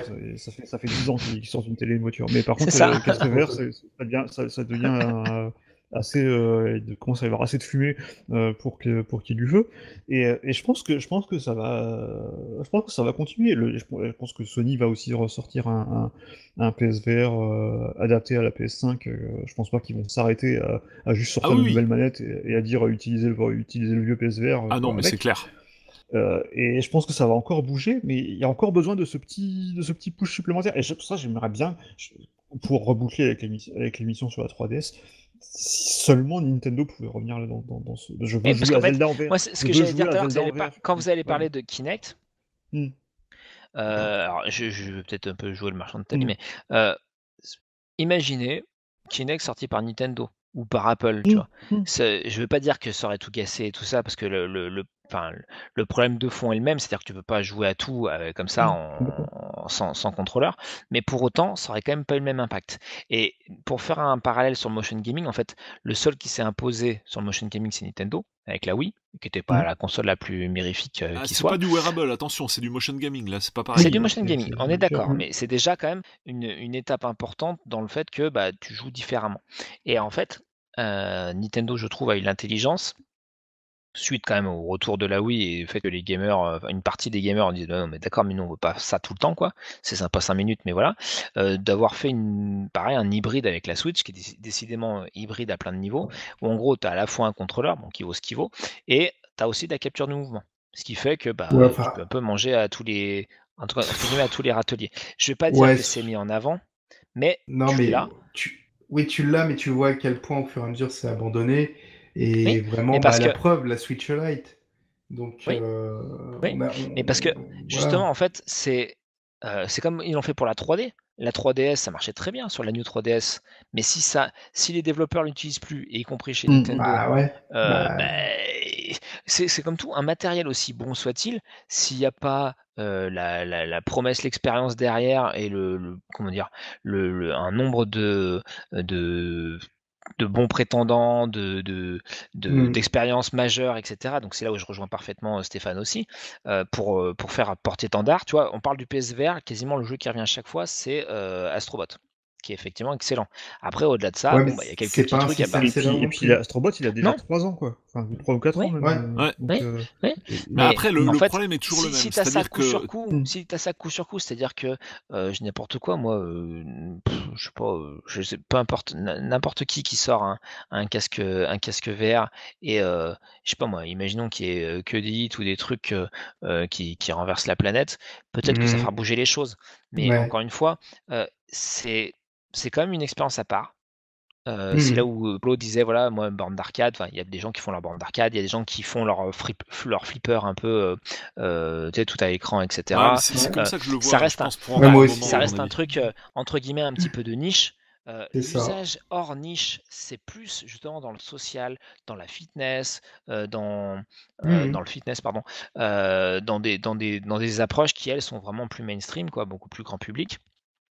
Le jeu, ça reste quand même quelque chose de, euh, je vais pas dire contraignant, mais de euh, d'impactant émotionnellement, euh, d'épuisant un peu, surtout s'il y a un côté un peu physique. Euh, Il y a le motion sickness, il y a des choses quand même Ah ouais. que- euh, qui, qui sont comme des barrières à l'entrée, si je Ah puis oui, dire. oui, oui, non, Mm. très clairement. hein. Euh, Et puis bon, donc, le casque, hein, voilà, juste oui, le voilà. casque. Ah ouais. Donc, euh, donc si, euh, là, avec, euh, avec le Quest 2, euh, bah, Facebook a enlevé quand même un certain nombre de barrières. C'est sûr. Euh, et c'est très bien, il faut le notifier. Mais ça reste effectivement un cas, ça reste, euh, euh, pour être pertinent, euh, une durée d'utilisation qui est peut-être quand même un peu moins longue que euh, si on était simplement dans- avec une manette devant une télé à 2-3 mètres. C'est, ça demande un type d'expérience pour être vertueux. euh, Mm. Enfin, qui, qui sont différentes de ce qu'on a quand on est sur du, un écran plat. Voilà.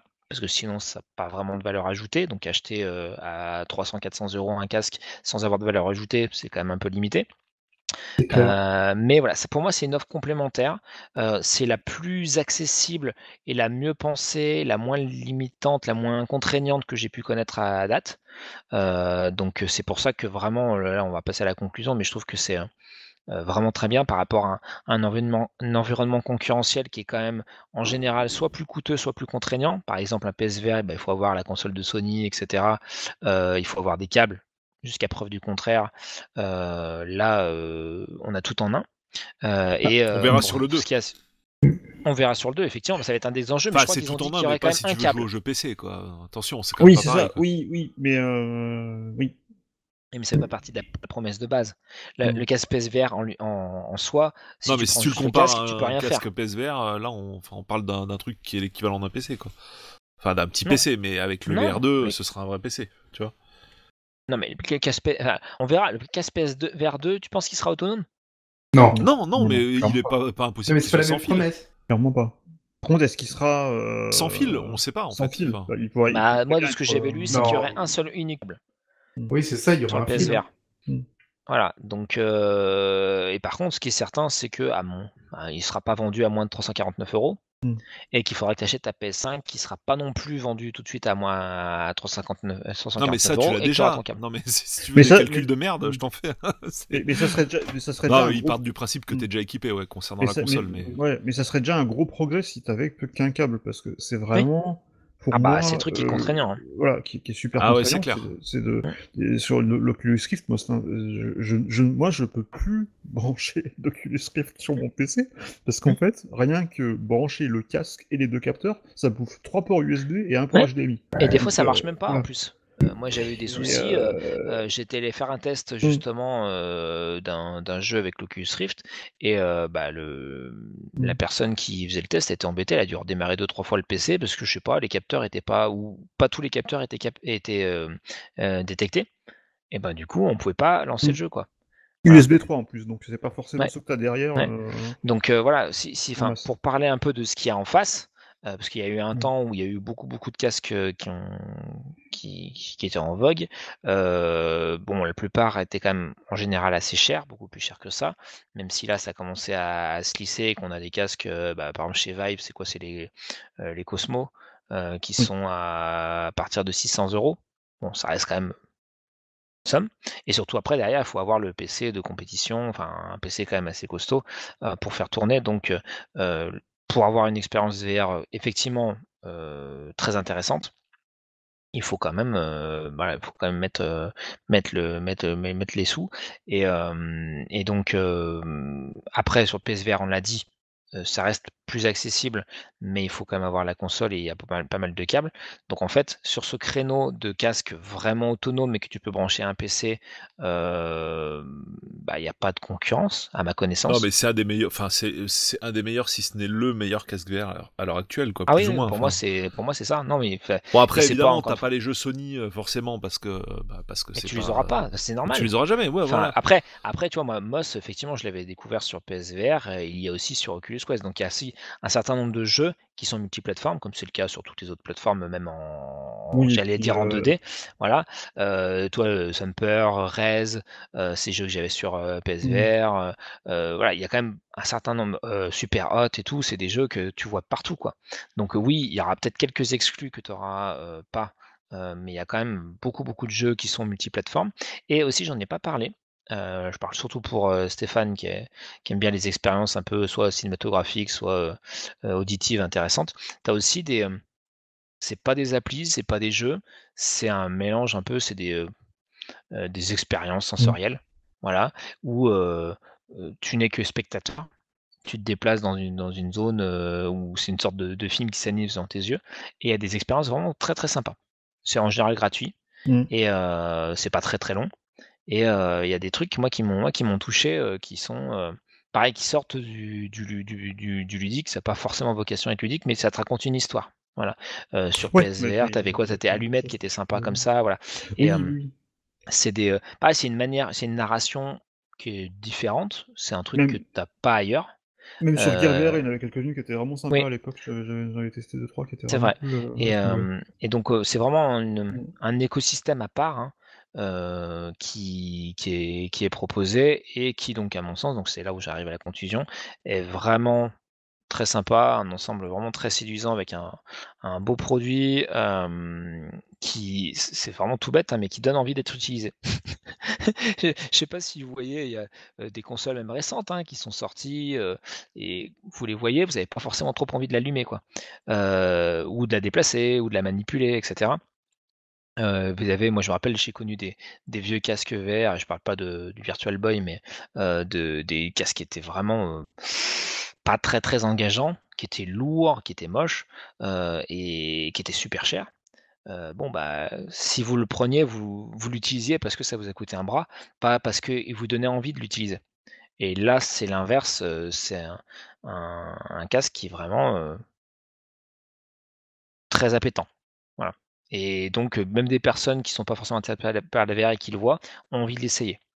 Et ça, c'est plutôt bon signe. Euh, je l'ai dit, la ludothèque, elle est, enfin la ludothèque, la base d'application et notamment de jeux est costaud. Euh, Il y a vraiment beaucoup, beaucoup de- de- d'expériences un petit peu différentes et très très cool. Le côté de brancher sur PC offre vraiment une, une bonne panoplie de, enfin, étend vraiment la, panoplie de jeux potentiels et d'applications euh, qui sont compatibles. Donc ça c'est rassurant quand on fait quand même, on met quand même 300-400 euros sur, la table, de se dire que euh, on pourra se débrouiller pour avoir du contenu sur la durée. Euh, et euh, et j'ai découvert des expériences que j'ai pas pu avoir ailleurs et qui m'ont vraiment, qui m'ont vraiment, vraiment séduit, qui m'ont fait un peu bouger, qui m'ont même, allez, on va dire, réconcilié un peu avec le motion gaming parce que franchement, voilà, ça, j'y croyais plus. Et, et des expériences waouh je me suis dit, oh punaise, ah ouais, on peut faire ça. Mais c'est génial, j'ai jamais pu avoir ça ailleurs. Et il faut absolument que je montre à Apollo, à Stuff, parce qu'il n'y a pas d'équivalent en fait. Donc un, très bon casque, bien positionné en termes de, en termes de prix. Le seul truc un peu embêtant, c'est la, connexion à Facebook, si vous êtes allergique à Facebook ou si, comme moi, vous avez peut-être un petit souci au, lancement. mais sinon, une fois que c'est fait, ça roule quoi. C'est et idéalement quand même, vu que l'aspect social est sympa et que si vous voulez avoir des bons conseils et tout, c'est pas mal de d'être un, peu dans la, communauté des gens qui ont un Oculus parce qu'il y a des échanges vraiment sympas, des bonnes pratiques. Et voilà, par exemple, le virtual desktop, c'est en discutant avec des, connaissances que j'ai pu savoir un peu ce que je pouvais faire avec. Donc voilà, n'hésitez pas si vous en, si vous en achetez un à, à, discuter dans la communauté Oculus. C'est un bon développement de, la conclusion qu'on avait notée dans le conducteur qui était c'est trop bien.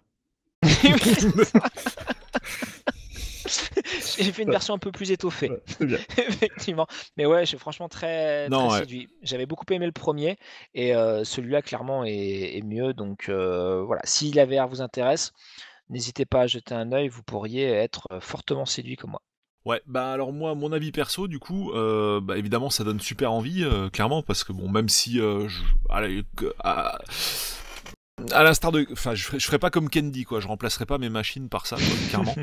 euh, non, mais vraiment, enfin, apparemment, bah, il y en a qui le font puisqu'il en est la preuve vivante, quoi. Et puis il y en a certainement d'autres. Hein, il est pas seul. Mhm. Mais euh, c'est clairement, même si je l'avais, je le ferais pas. Mais par contre, ça, je, voilà, je cracherai pas dessus. Franchement, ça m'intéresserait. Mais par contre, euh, clairement, il faudrait que la version 250 soit au prix de la, de la 64, quoi. Parce que bah, là, il y a quand même un gros, gros, gros problème de price point pour moi à 350 balles. Bah, je veux dire, on est quasiment sur le prix d'une PS4 à l'époque où il y avait qu'elle, quoi. Hein. Enfin, enfin pas quasiment, mais on y est. Ouais, non, c'est pas pareil. Je sais bien que c'est pas pareil. Mais euh, t'as as des trucs en plus. Maintenant, t'as aussi des trucs en moins, quoi. Tu vois, par rapport à une PS4, quoi. Donc. Euh... Mais ça, ça, ça, a vraiment rien à voir en termes de. Enfin, bah, quand tu ça vois à voir que c'est une machine de jeu et qu'elle a un prix, quoi. En fait, euh, c'est ça que ça a à bah. C'est pas déjà pas une machine de jeu parce que tu peux faire autre chose que du jeu. Ouais, enfin bon, euh, t'achètes ça surtout pour faire du jeu, quand même, quand on est d'accord. Bah, moi, oui, parce que je suis gamer. Mais, ah, mais qui, euh, achète ça? Tu, tu, penses vraiment qu'il y a des non-gamers qui bah, achètent ça Regarde, rien que, rien que ce qu'on disait. Je te parle pas des agences immobilières et compagnie, hein, je te parle des, des, des, des, vrais gens, comme disait euh, un ancien collègue. Voilà. bah, je pense que c'est un, c'est comme, comme tu disais, euh, toi, d'acheter une borne d'arcade ou un truc de collection qui va être forcément un peu hors de prix parce que c'est un truc qui est, qui est rare ou qui est bien fichu, etc. Là, c'est un, c'est un trip. Voilà. La VR, c'est un trip c'est euh, euh, tu vas pas forcément faire ça toute ta journée. Euh, tu vas pas forcément finir tous tes jeux à fond ou attendre d'avoir 100 heures de jeu sur les jeux que tu vas tester. mais par contre, pour faire des petits jeux sympas, vraiment immersifs que tu as nulle part ailleurs, briller un peu en société, regarder Netflix et tout en étant hyper immergé sans avoir les lumières environnantes, etc. discuter avec des potes de manière un peu différente et puis bidouiller des trucs avec ton PC si tu veux. c'est voilà, un trip à part. C'est on va dire un, quand même un petit objet de luxe quoi. C'est un truc dont t'as pas forcément besoin viscéralement, mais t'as pas plus besoin d'une console en vrai. mais c'est vraiment pour avoir une expérience à part. une PS4, c'est une console de jeu, tu sais très bien pourquoi tu vas l'avoir. Si tu veux avoir une expérience un petit peu à part, bah, tu peux prendre le PSVR ou faire des jeux de motion gaming, etc. Mais L'expérience de base, elle est très claire. C'est tu mets ton jeu dedans et puis c'est parti quoi. Effectivement, c'est pas tout à fait pour moi la même promesse. je suis pas en train de là de, justifier un prix. Effectivement, moins c'est cher et mieux c'est. Plus il y de stockage, mieux c'est. J'ai cru voir justement des baisses de prix, des promos qui tendent à penser que bon bah il y a un moment où ça va ça va descendre et, euh, et du coup la version de 56 Go sera plus accessible et ça sera très bien. Parce que du coup pour vraiment euh, avoir un maximum de jeux de qualité euh, bah, ça serait bien d'avoir de, l'espace surtout si tu as plusieurs comptes. Comme a toujours dit Stéphane hein, c'est comme les Mac entrée de gamme hein, en fait le, Mac d'entrée de gamme ne sert qu'à un truc c'est de te faire acheter celui qui est au dessus quoi oui En tous les cas il existe et c'est fait que si c'est vraiment pour avoir un trip de temps en temps comme certaines personnes le, le font 64 c'est largement suffisant voilà. Oui, Après. Euh, Enfin, C'est- toujours un peu le débat sur les- le stockage des consoles, c'est qu'il y en a, Oui. il y en, il y en a qui vont acheter ce casque et qui vont jouer à 5 jeux. Euh, Rappelez-vous, même la Switch, euh, c'est quoi C'est 32 Go de Mm. base?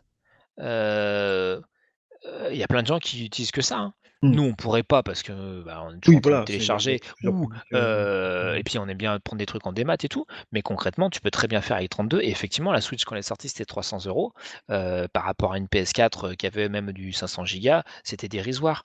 Mais la promesse n'est pas tout à fait la même. Après, encore une fois, on peut en débattre et c'est un autre débat. Mais pour moi, quand même, de, de comparer le l'Oculus Quest 2 et une PS4, c'est quand même un peu. C'est pas tout, quand même pas tout à fait la même promesse, quoi. Et tu l'achètes pas dans la même optique. En tous les cas, pour ma part. Mais j'entends ton point, il n'y a pas de souci. Moi, ce que je remarque, c'est qu'il y a beaucoup, je, vois beaucoup de gens autour de, enfin, pas forcément dans mon entourage, mais euh, euh, des gens que je suis sur Twitter ou sur Facebook ou sur, euh, sur, des podcasts. c'est un produit, je vois beaucoup de gens qui l'achètent de manière impulsive, genre ah ça a l'air trop cool, j'achète. Mhm. Euh, et ça, c'est et ces gens de, de, de, de- parce que ça n'existe pas ailleurs en fait. Euh, Bah c'est un truc que, Mhm. que tu qui est, qui est accessible même à des non gamers qui veulent. euh, qui- voilà, c'est tu peux l'acheter, tu, tu peux t'essayer la réalité virtuelle, t'as tout ce qu'il faut. euh, euh, c'est c'est un peu c'est justement c'est- là-dessus, c'est un peu la même promesse que la que la Switch parce que la Switch c'est un peu le- cette idée-là, c'est que tu Ouais. euh, notamment l'idée euh, que, que tu achètes, une console et tu peux jouer à deux dessus, euh, euh, tout est dans la boîte, mais là tout est dans la boîte aussi, c'est-à-dire que tu as, juste, à, t'as juste à, à- à prendre du plaisir et à, tester des expériences. Et ça, c'est vraiment. euh, Ouais, je, trouve qu'il y a. enfin, je, je- je- je pense a le- que le potentiel est, euh, est- a pas été encore complètement euh, atteint par, par Facebook et je pense qu'ils vont encore euh, monter en puissance. C'est- Le, dire- le, le, le, précé- le précédent produit moi, qui m'a- qui m'avait fait cet effet-là, euh, où j'avais vu vraiment euh, pas mal de gens qui l'achètent par curiosité, c'était Alexa, c'était la, la Oui. Echo. Et, euh, et c'est un peu la même idée, c'est-à-dire que tu as un truc nouveau qui sort et tout le monde et, et tout le monde en veut un parce que parce que parce que c'est nouveau, parce que c'est ça a l'air simple, ça a l'air accessible et, euh, et, euh, ça voilà. propose quelque chose, voilà, de, Mm. une, une expérience que tu n'as pas ailleurs. Ouais, mm, mm, complètement. Et donc, quand complètement. tu l'as pas ailleurs, bah, effectivement, tu, tu, tu peux comprendre ou tu mettrais le- un peu plus le prix que si bah, ça existait de partout. Quoi. Par, maintenant, les, les, les enceintes connectées, Mm. euh, bah, il y en a euh, à foison, donc du coup, tu peux en avoir pour vraiment, vraiment pas cher. Euh, J'imagine que toi, si des, des casques VR autonomes comme ça, de cette qualité-là, il y en avait plein, bah, peut-être que les prix seraient, enfin, pas, pas- peut-être, les prix seraient Mm. euh, encore plus intéressants. Quoi. Donc là, c'est une tendance, c'est une proposition. de ce que je- moi j'ai ouï dire et lu, a priori, le Rift va s'effacer et il y aura plus que les Quests. Ah, à terme, Euh, ouais. à terme, Ça paraît parce logique. que ouais. vu que les Quests font tout, bon bah Oui, voilà. avec le câble, avec le Quest 2 qui a le câble, euh, où j'imagine t'as pas beaucoup de différence entre le entre le rendu que t'as euh, avec un Quest et le câble que avec un avec un Rift. Euh, à partir du moment où, tu as les deux expériences, ça c'est ça qui, qui est formidable quoi. C'est c'est que tu peux, c'est que tu peux. Non, avoir c'est génial, ça il y a pas à dire. Et, euh, et du coup, bah, ça, ça élimine le gap que tu avais avant entre la, la, la VR mobile et la VR, euh, et la VR PC. Là, Ouais. t'as un truc qui À la limite, Après, on, on pour- pensait pour pas moi, y croire, un-. C'était un truc qu'on Mm. Mm, espérait mm, sans vraiment trop y croire. On s'est dit, bah non, voilà, en gros, si tu veux avoir un- une bonne qualité d'écran euh, et jouer à des jeux PC, bah il faut le truc à 800 balles, quoi, Mm, hein, grossièrement. Et, euh, et si tu veux avoir un truc un peu, euh, genre comme si ton téléphone en- un peu moche, mais par contre, au moins tu es autonome, et ben il faut compter à peu près 300, quoi. Après, c'est vrai que quand on y pense, euh, enfin, je rebondis sur l'émission 3DS parce que c'est quand même carrément en relation, quoi. On parle quand même Mhm. de 3D stéréoscopique, Mhm. qui est évidemment le cas de la VR. euh, c'est le principe même de la chose, quoi. Mais quand tu penses que juste sur de la, alors pour euh, pour paraphraser euh, du coup Rabi, euh, qui parlait lui plutôt de relief, mais on comprenait bien ce qu'il voulait dire, quoi. Donc, euh, on va dire que la 3DS c'est de la 3D, de la vraie 3D stéréo, mais ça revient à être euh, un simple relief entre guillemets. Euh, alors que là, on est vraiment immergé dans le monde, donc on est vraiment sur de la pure 3D stéréoscopique, Oui. euh, même si c'est aussi de la 3D sk- stéréoscopique la DS, mais je veux Mm. dire, on est au centre du monde en 3D. Avec la- Exactement. Et quand on voit que, euh, alors que c'était quand même moins violent entre guillemets, euh, Nintendo a laissé tomber. Mhm. euh, tu te dis, euh, de là à ce que vraiment la VR ça devienne grand public, ça va être chaud quand même, franchement. Enfin, je rebondis Ouais. sur là-dessus, mais c'est vrai que je, tu peux pas t'empêcher de faire le parallèle avec la 3DS, où alors que ça fonctionnait parfaitement, c'était nickel et tout. Euh, alors, est-ce qu'ils ont arrêté parce que vraiment ça prenait pas au niveau du grand public ou parce que, bah, je sais pas, à un moment ils se sont dit on va partir dans un autre délire et puis euh, et puis on, on, fait table rase du passé comme ils l'ont très souvent fait, hein, Nintendo, hein, en fait. Euh... Je pense pas que c'est un problème de public, je pense que c'est plus un problème de développeur. Pour, ouais, je sais, je, sais, pas en fait, franchement. Le public, il était là pour la 3DS. La 3DS, elle a fait un, enfin, ouais, elle a pas, elle a mal démarré, mais au final, elle a, elle a quand même connu un beau succès. Mais, euh, mais d'ailleurs, en parlant de relief, ça me fait penser à, à, à, dans un podcast, il y avait un, justement un des, des, animateurs qui avait, qui avait acheté un, un Quest. Et euh, un truc qu'il a fait, parce qu'il n'avait pas de télé 3D chez lui, euh, il a euh, ripé ses Blu-ray 3D. Ouais, pour ouais, les ouais. regarder. Et apparemment, tu peux les regarder, tu peux trouver Ah, c'est cool ça, bah, sachant que t'as plus de télé 3D en plus. Oui. euh, Tu peux trouver Oui, un des player players qui, est, 3D. qui est compatible avec des, des, bah, des rips de Blu-ray 3D, et donc il a pu regarder des films en 3D. qu'il Cool ça. Voilà. Après, pour moi, une autre barrière, alors bon, même si voilà, j'en fais quand même de la VR avec le, le PSVR, mais j'ai pas acheté de casque pour PC pour l'instant. L'autre barrière, bah, c'est ce qu'on disait, enfin, de- de- depuis les premiers casques qu'on voit, c'est le, le fait de vraiment voir encore bien les pixels, quoi. Tu vois, ça, c'est un peu comme euh, si tu jouais à un jeu rétro en 2021 sur ta télé. euh, Enfin non, j'exagère, quoi. Bien sûr, on n'en est pas à ce niveau-là, quoi. Mais euh, je dirais le, le jour où la VR, il y avait des projets en fait où le casque VR c'était juste une paire de lunettes, quoi, qu'on mettait sur la tête. Le jour où ton casque VR c'est une paire de lunettes que tu mets sur la tête, euh, que tu vois plus du tout les pixels. Alors là, par contre, euh, attention, là, ça peut faire très très mal, quoi. Et que t'as pas de fil, etc. Enfin, problème, c'est que imagine, pour- imagine le truc de fou, quoi. Pour ça, faut avoir des écrans euh, 8K dans les yeux, quoi. Ouais, voilà, c'est ça. Non, mais bon, on y arrivera certainement Bah, un jour, hein, mais. Il y en a. arrivera, hein. on y arrivera. On y arrivera. Ouais. Oui, là, ils ont commencé à en sortir sur PC des, des Oui, casques VR en 4K ou 8K. 8K, oui, mais bon. de toute façon, et puis c'est- apparemment les specs de, de, de, de ce que sortirait Apple en, en lunettes euh, AR. euh, 8K, c'est un peu- apparemment c'est leur. Hâte de voir ça quand même. C'est ce qui target. Mais après, je pense que le prix là, ce sera pas 350 Oui, ou non, 250 ouais. gigas. hein. Euh, Là, ça va être C'est- 2000 boules et. C'est possible. Et puis si tu veux 100 faut surtout gigas de plus, ça sera euh, 1000 euros de Mm. plus. Voilà, puis il faut euh, avoir la montre et aussi le truc pour l'activer en fait, tu vois, sinon Mm. ça ça marche pas. Mais effectivement, Euh, le seul truc moi qui me qui me rebute encore dans la 3D, c'est le malgré effectivement le fait que, comme tu l'as dit, euh, apparemment c'est quand même plus léger, c'est quand même euh, plus confortable qu'avant, mais c'est quand même un gros gros truc que t'as devant les yeux, quoi. Et euh... et ça, ça me Bah t'es dans une un bulle quoi en peu. fait, ça aussi Oui, mais oui, mais euh, je veux dire au niveau du, de, de, de la taille du truc, euh, ça reste euh, encore un petit peu. euh, J'espère qu'ils feront encore des progrès là-dessus, quoi. Bon toi Julien, Bah, est-ce que t'es client Mm. typiquement? Écoute, euh, je suis très très partagé.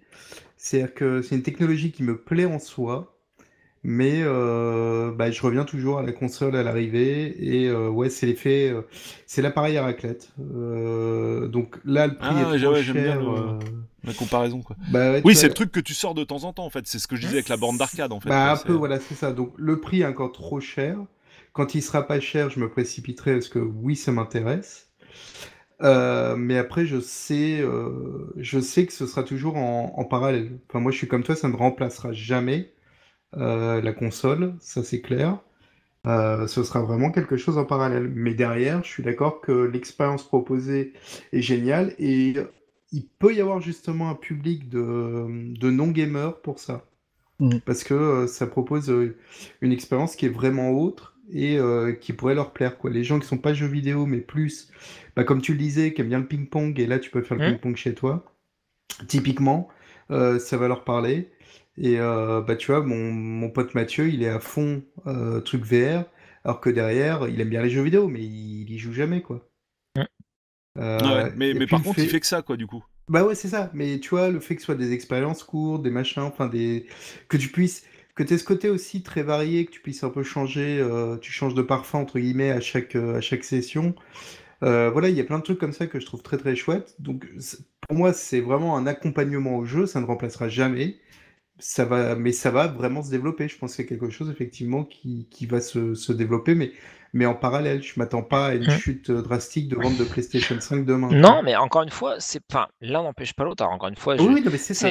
on, on parlait, euh, voilà, on a quand même réussi à parler pas mal de Nintendo alors que c'était pas une émission du tout dessus. Oui. Mais euh, euh, quand on dit voilà, vous prenez bah, PlayStation euh, et Microsoft, enfin euh, Xbox et PlayStation et vous prenez Nintendo, euh, ça reste à peu près la même chose, c'est-à-dire des consoles de jeux. Mais c'est pas parce que tu aimes euh, jouer sur ta PS que tu peux pas aimer jouer sur Nintendo et les deux ont le droit d'exister entre guillemets, sont complémentaires. Et ben pour moi, le PSVR a pas euh, PSVR, pardon, le, l'Oculus Quest ou n'a pas ou ses, équivalents, ses concurrents euh, n'ont pas vocation, en tout cas à mon sens, à de forcément remplacer euh, ce qui existe à côté. Par contre, c'est un complément. Tu as des trips que tu peux pas avoir effectivement euh, par euh, ces biais-là ou qui sont plus délicats à avoir. Et, Ah oui, euh, et, et, comment dirais-je Encore une fois, on va, on va chercher ce qu'on veut. Et ce qui est intéressant, c'est que euh, il y a un pan de, effectivement, de mes connaissances, et donc là on a cité au moins deux exemples aujourd'hui, de personnes qui ont testé sans trop attendre de choses, en se disant bah voilà, principe à raclette, je le sortirai une fois de temps en temps comme, euh, comme quoi.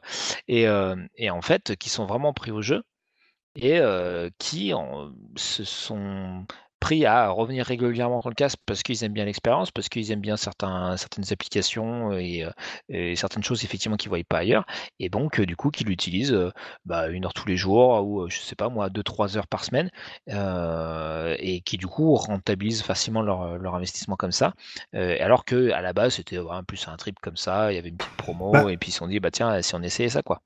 Le fait qu'il n'y ait plus que le casque à poser sur ta tête change tout, évidemment. Oui. Puisque, euh, bah voilà, effectivement, tu peux te faire une petite session de 20 minutes. Mhm. Euh, T'as un trou, c'est juste le casque, je mets, j'allume, et hop, c'est parti. Et, Et et ça, encore une fois, on se fait avoir en plus. Hein, parce que moi, ça m'est Ouais. arrivé, excuse-moi de te couper, mais ça m'est arrivé, je me suis dit, mais juste, juste 15-20 minutes, je vais voir un peu s'il y a des nouvelles applications. Au pire, j'en lance une téléchargement, tu sais, et puis comme ça, puis ça parti, quoi. télécharge. Ouais, ça. Et, je me suis, et je vois une heure du matin, je fais oh punaise, mais qu'est-ce que j'ai fait en fait? Parce que du coup, j'ai lancé une appli entre temps, et puis bah, j'ai joué une heure machin. Après, je me dis, attends, je vais peut-être faire l'autre qui lui ressemble. Hop, encore une heure et tout. Et euh, c'est- facile de se prendre au jeu. Alors, encore une fois, c'est mon avis, enfin, c'est mon expérience personnelle, c'est pas le cas de tout le monde, mais on, on se prend assez facilement au jeu, quoi. Mhm. Ah non, non, mais je moi j'y crois. Le problème, c'est que j'ai beaucoup de, de motion sickness. Ah oui, ça Et euh, voilà, Ouais, j'attends des jeux, de- quoi. Mais, euh, ouais. Exactement. Faut... Et là, faut que je teste pour voir. Euh, moi, euh, Mathieu me dit que j'aurai beaucoup moins avec, euh, avec celui-là. Oui. Euh, ce qui est tout à fait possible. Euh, mais c'est vrai que c'est ce qui me limite, parce que tu vois, mon PSVR, euh, foncièrement, j'aime bien, mais en fait, c'est le fait de savoir qu'au bout d'une heure, je vais, je vais avoir ce sentiment désagréable Ouais, qui fait ça que pas. je- Ouais, entre ça et les câbles, bah. Ouais. Alors Et, moi, ce que, euh, je, ce que je peux dire, c'est que là aussi, alors j'ai pas trop insisté là-dessus, mais euh, euh, donc pour ceux qui se disent j'ai pas beaucoup de place, j'ai peur de me faire mal, etc. Il y a le room scale donc euh, qui Mm. permet de délimiter la zone, qui marche très très bien.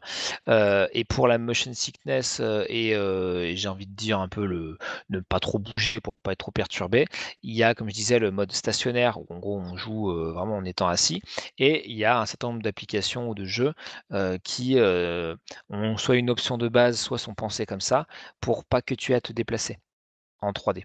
Donc, Oui, oui. euh, tu es Mm. tout le temps sur des écrans fixes et tu regardes autour de toi. a- il a n'y a quoi. pas d'ailleurs sur le, sur le store, il n'y a pas une espèce de, de signalétique d'ailleurs pour les jeux qui sont plus ou moins Oui, intenses ou, Tout à fait. c'est ça, oui, je c'est vrai je l'ai pas ouais. précisé. Euh, Mhm. donc en plus de l'âge et tout ça, effectivement, il y a des trucs euh, voilà, euh, violents, etc.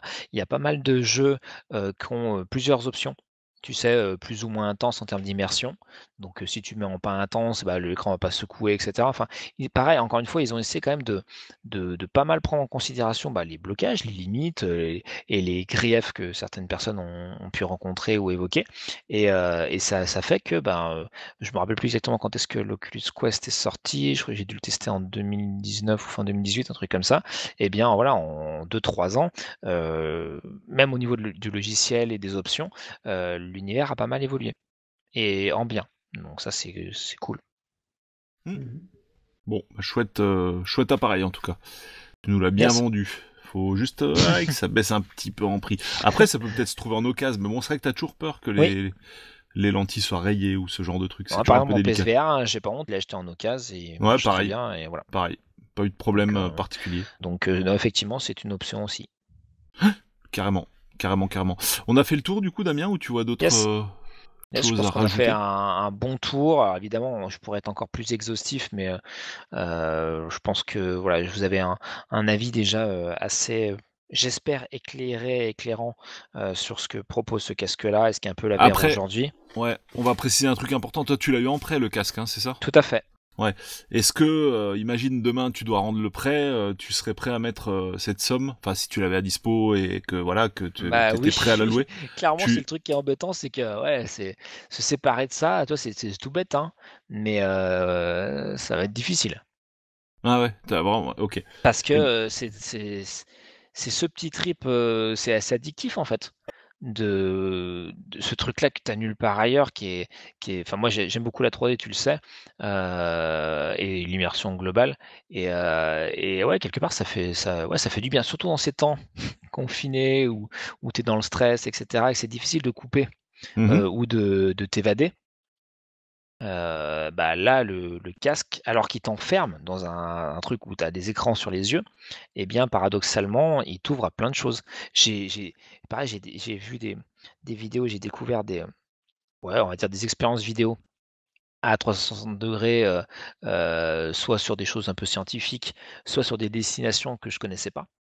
Mm. Euh, Tu parles bah, ça- là de hum, YouTube Ou, YouTube, National Geographic, des choses comme ça.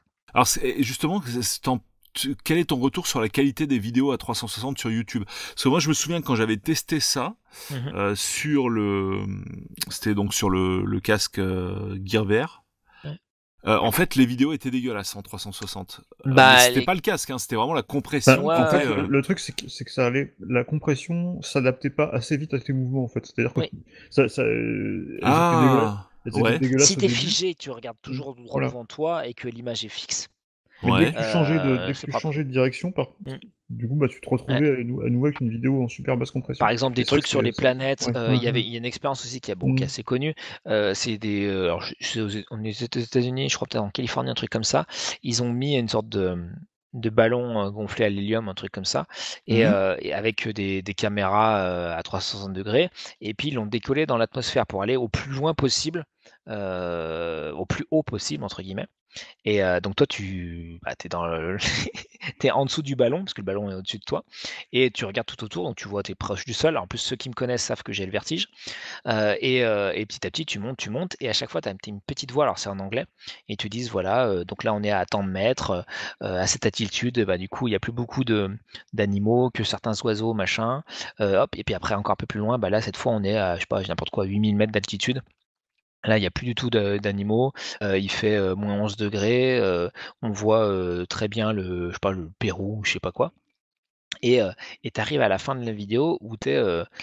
c'est quoi C'est sur la lithosphère, un truc comme ça. Enfin, t'es pas, t'es pas dans l'espace, mais tu commences à voir que c'est bien noir et t'es, je crois que tu as même passé le. ouais, tu as dépassé les nuages, etc. Et, et là, tu es dans un truc qui est très vrai parce que tu vois que c'est des images réelles. Et, euh, et bah, c'est une expérience que tu peux pas vivre autrement en fait. Là, t'es, même si effectivement, donc YouTube, pour répondre à ta question, surtout avec mon Wi-Fi euh, en carton, euh, la compression n'était pas folle, parce que du coup, vu que le, le ballon est tout le temps en train de monter, Mhm. et que moi je suis tout en train de tourner la tête autour, et bah du coup, comme dit Stéphane, euh, le, le débit est pas forcément suffisant pour que l'image soit tout le temps hyper nette, mais ouais, ça mais quand même. c'est- ouais. ça, ça, c'est marrant. C'est marrant en fait que, enfin, comment dire, normalement le flux, euh, il concerne l'ensemble de la vidéo, quoi. Je, je... Stéphane, je- ça a vérifié quand même cette information parce que tu, tu es sûr que c'est quand tu bouges la Moi, tête. c'était euh, moi, c'est moi de mon. Normalement, enfin, le, le stream, c'est le stream, quoi. En fait, Oui, le stream, de- de- il, de il mon- fait l'intégralité de la vue, quoi. de mon mais expérience, de mon expérience, c'était vraiment ce moment-là que je, que je rencontrais des, euh, des changements de En fait, qualité. Ah, d'accord, ok. De, de deux Mm. choses l'une, c'est Mm. soit tu as l'image donc qui est ultra large, imagine une image, un, un panoramique qui est chargé en permanence, et toi, en 360 degrés, tu vas aller à gauche, à droite, et donc euh, YouTube, dans sa fenêtre, va te montrer une zone ou une autre. A priori, c'est pas forcément ça. Euh, et quand tu, quand tu te, quand tu te décales, et ben, ça recompose une image. Si tu te décales très fort et très vite euh, dans une direction opposée, ça reconstruit toute l'image. Après, Je sais pas, je sais pour- pas si c'est, euh, je sais, pour, je sais pas, je, sais pas comment c'est foutu. Oui, après. En tout cas, moi, ce que je peux dire au-delà de Moi, ça, c'est pas ce que j'ai c'est remarqué euh, euh, mon test. Euh, effectivement, euh, vu la résolution euh, et vu le début que j'ai, euh, c'est pas, voilà, t'as pas une netteté euh, Moi, folle. il y quoi. avait, moi, il y avait pas de différence, hein. Même quand je mais- bougeais pas la tête, c'était dégueulasse. Et Non, en fait, non, le, non, mais de, de- de- de base, la résolution était pas super. De voilà, c'est surtout ça le Mais problème. par Enfin, contre, moi, moi, ce que j'ai constaté, quoi. Mais par contre, effectivement, moi, mon expérience, c'était par, par rapport au mouvement. Euh, Il Mhm. faut aussi la repréciser dans le contexte, c'est-à-dire que moi, à l'époque, j'étais dans une euh, euh, dans la pièce où j'avais mon PC, j'avais j'avais du Wi-Fi Wi-Fi, enfin, ou soit du mauvais Wi-Fi, soit du CPL, donc c'était quand même pas génial au niveau débit. Et je pense que ça jouait aussi forcément euh, beaucoup euh, là-dessus. Faudrait que je réessaye sur C'est possible. sur- sur Mais à l'inverse, toi, je me rappelle d'une vidéo pareil américaine. Mm. euh, je sais même pas comment je suis tombé sur ça. euh, euh, et euh, c'était euh, donc euh, deux Américains dans leur jardin qui coupaient une sorte de fruit exotique. J'ai jamais vu ça, qui ressemblait à une sorte de cerveau à l'intérieur. Et en fait, donc ils le coupaient, euh, euh, je sais pas, en un tiers, euh, et la caméra s'approchait du, du trou qu'ils ont fait pour voir à l'intérieur du fruit comment c'était incroyable quoi. Et ça m'a fait un effet. parce que vraiment, quand, tu te rapproches, vraiment, tu vois toutes les, les nervures à l'intérieur du fruit et tout. Ça fait comme un, comme un cerveau coupé dedans. Et waouh, l'effet 3D était saisissant. Et vu que c'était quand même bah, une image assez fixe, parce que le plan était fixe face au fruit, euh, la qualité me semblait meilleure. Mais encore une fois, euh, à vérifier. Et peut-être que mon, mon Wi-Fi à ce moment-là était mieux que personne pompait sur le- l'internet. Mais euh, voilà. Avec une vidéo. Oui, alors c'est marrant parce que justement, j'allais le dire, euh, moi, les vidéos que j'avais vues sur YouTube 360 ne sont paradoxalement pas en 3D. C'est-à-dire, en gros, euh, c'est une image, effectivement, au sein de laquelle tu peux évoluer en 360 Oui, degrés. Ouais, mais elle est plate. Voilà, mais elle est plate, en fait, c'est ça. Mm. T'as t'as pas une image par œil, quoi, en fait. Mhm. Mais par contre, tu peux regarder partout autour de toi. Ça, c'est Mm. la, c'est la différence par rapport à une vidéo classique, quoi. Ouais, mais par contre, c'est quand tu as des vidéos VR qui elles sont entre guillemets relativement plates, elles sont pas à 360 degrés, mais par contre, tu as deux images un peu différentes gauche-droite pour chaque œil, Ouais, ouais. et là, tu as une impression 3D qui est comme. euh, Ouais, mais là, tu peux pas regarder où tu veux, quoi, quand c'est comme ça. c'est ça. Ouais, voilà, c'est ça. voilà. C'est ça. Et du Oui. coup, là, le débit était meilleur. Voilà, c'est ça, ouais. Ouais, là, t'as une résol euh, classique et voilà. C'est ça. Ouais. Voilà, donc euh, globalement, euh, il y a, euh, voilà, il y a des, des bonnes choses. Par contre, effectivement, euh, bah, vu que c'est sans fil et si vous n'êtes pas connecté, euh, je vous recommande quand même d'avoir un. Enfin, ça, en fonction de ce que vous faites, d'avoir un, un bon Wi-Fi et éventuellement un, un routeur. Quoi. Si vous voulez vraiment faire du, du jeu sur PC sans fil, euh, je le recommanderai jamais assez d'avoir euh, ce qu'il faut derrière. Yes. Bon, bah, ce sera le mot de la fin, du coup. Plus Yes. personne n'a quoi que ce soit à rajouter. Non. Bon, bah on va se quitter là-dessus et comme d'hab, je l'ai précisé en début d'émission, mais n'hésitez pas à poser vos questions à Damien si vous en avez sur le casque et puis euh, bah, Damien se fera un plaisir de vous répondre. Yes. Il a la réponse, voilà. Donc pour ça, via les réseaux sociaux, ça reste ce qui reste quand même le plus simple en fait pour avoir un contact direct. Effectivement. Tout est donné directement en description du podcast. Salut à tous et puis on se donne rendez-vous dans deux semaines pour un nouveau sujet dont on définira les contours entre temps. Bye, ciao. Ciao. Salut. Ciao, ciao. Gamer and Geek. Gamer and Geek. Gamer and Geek.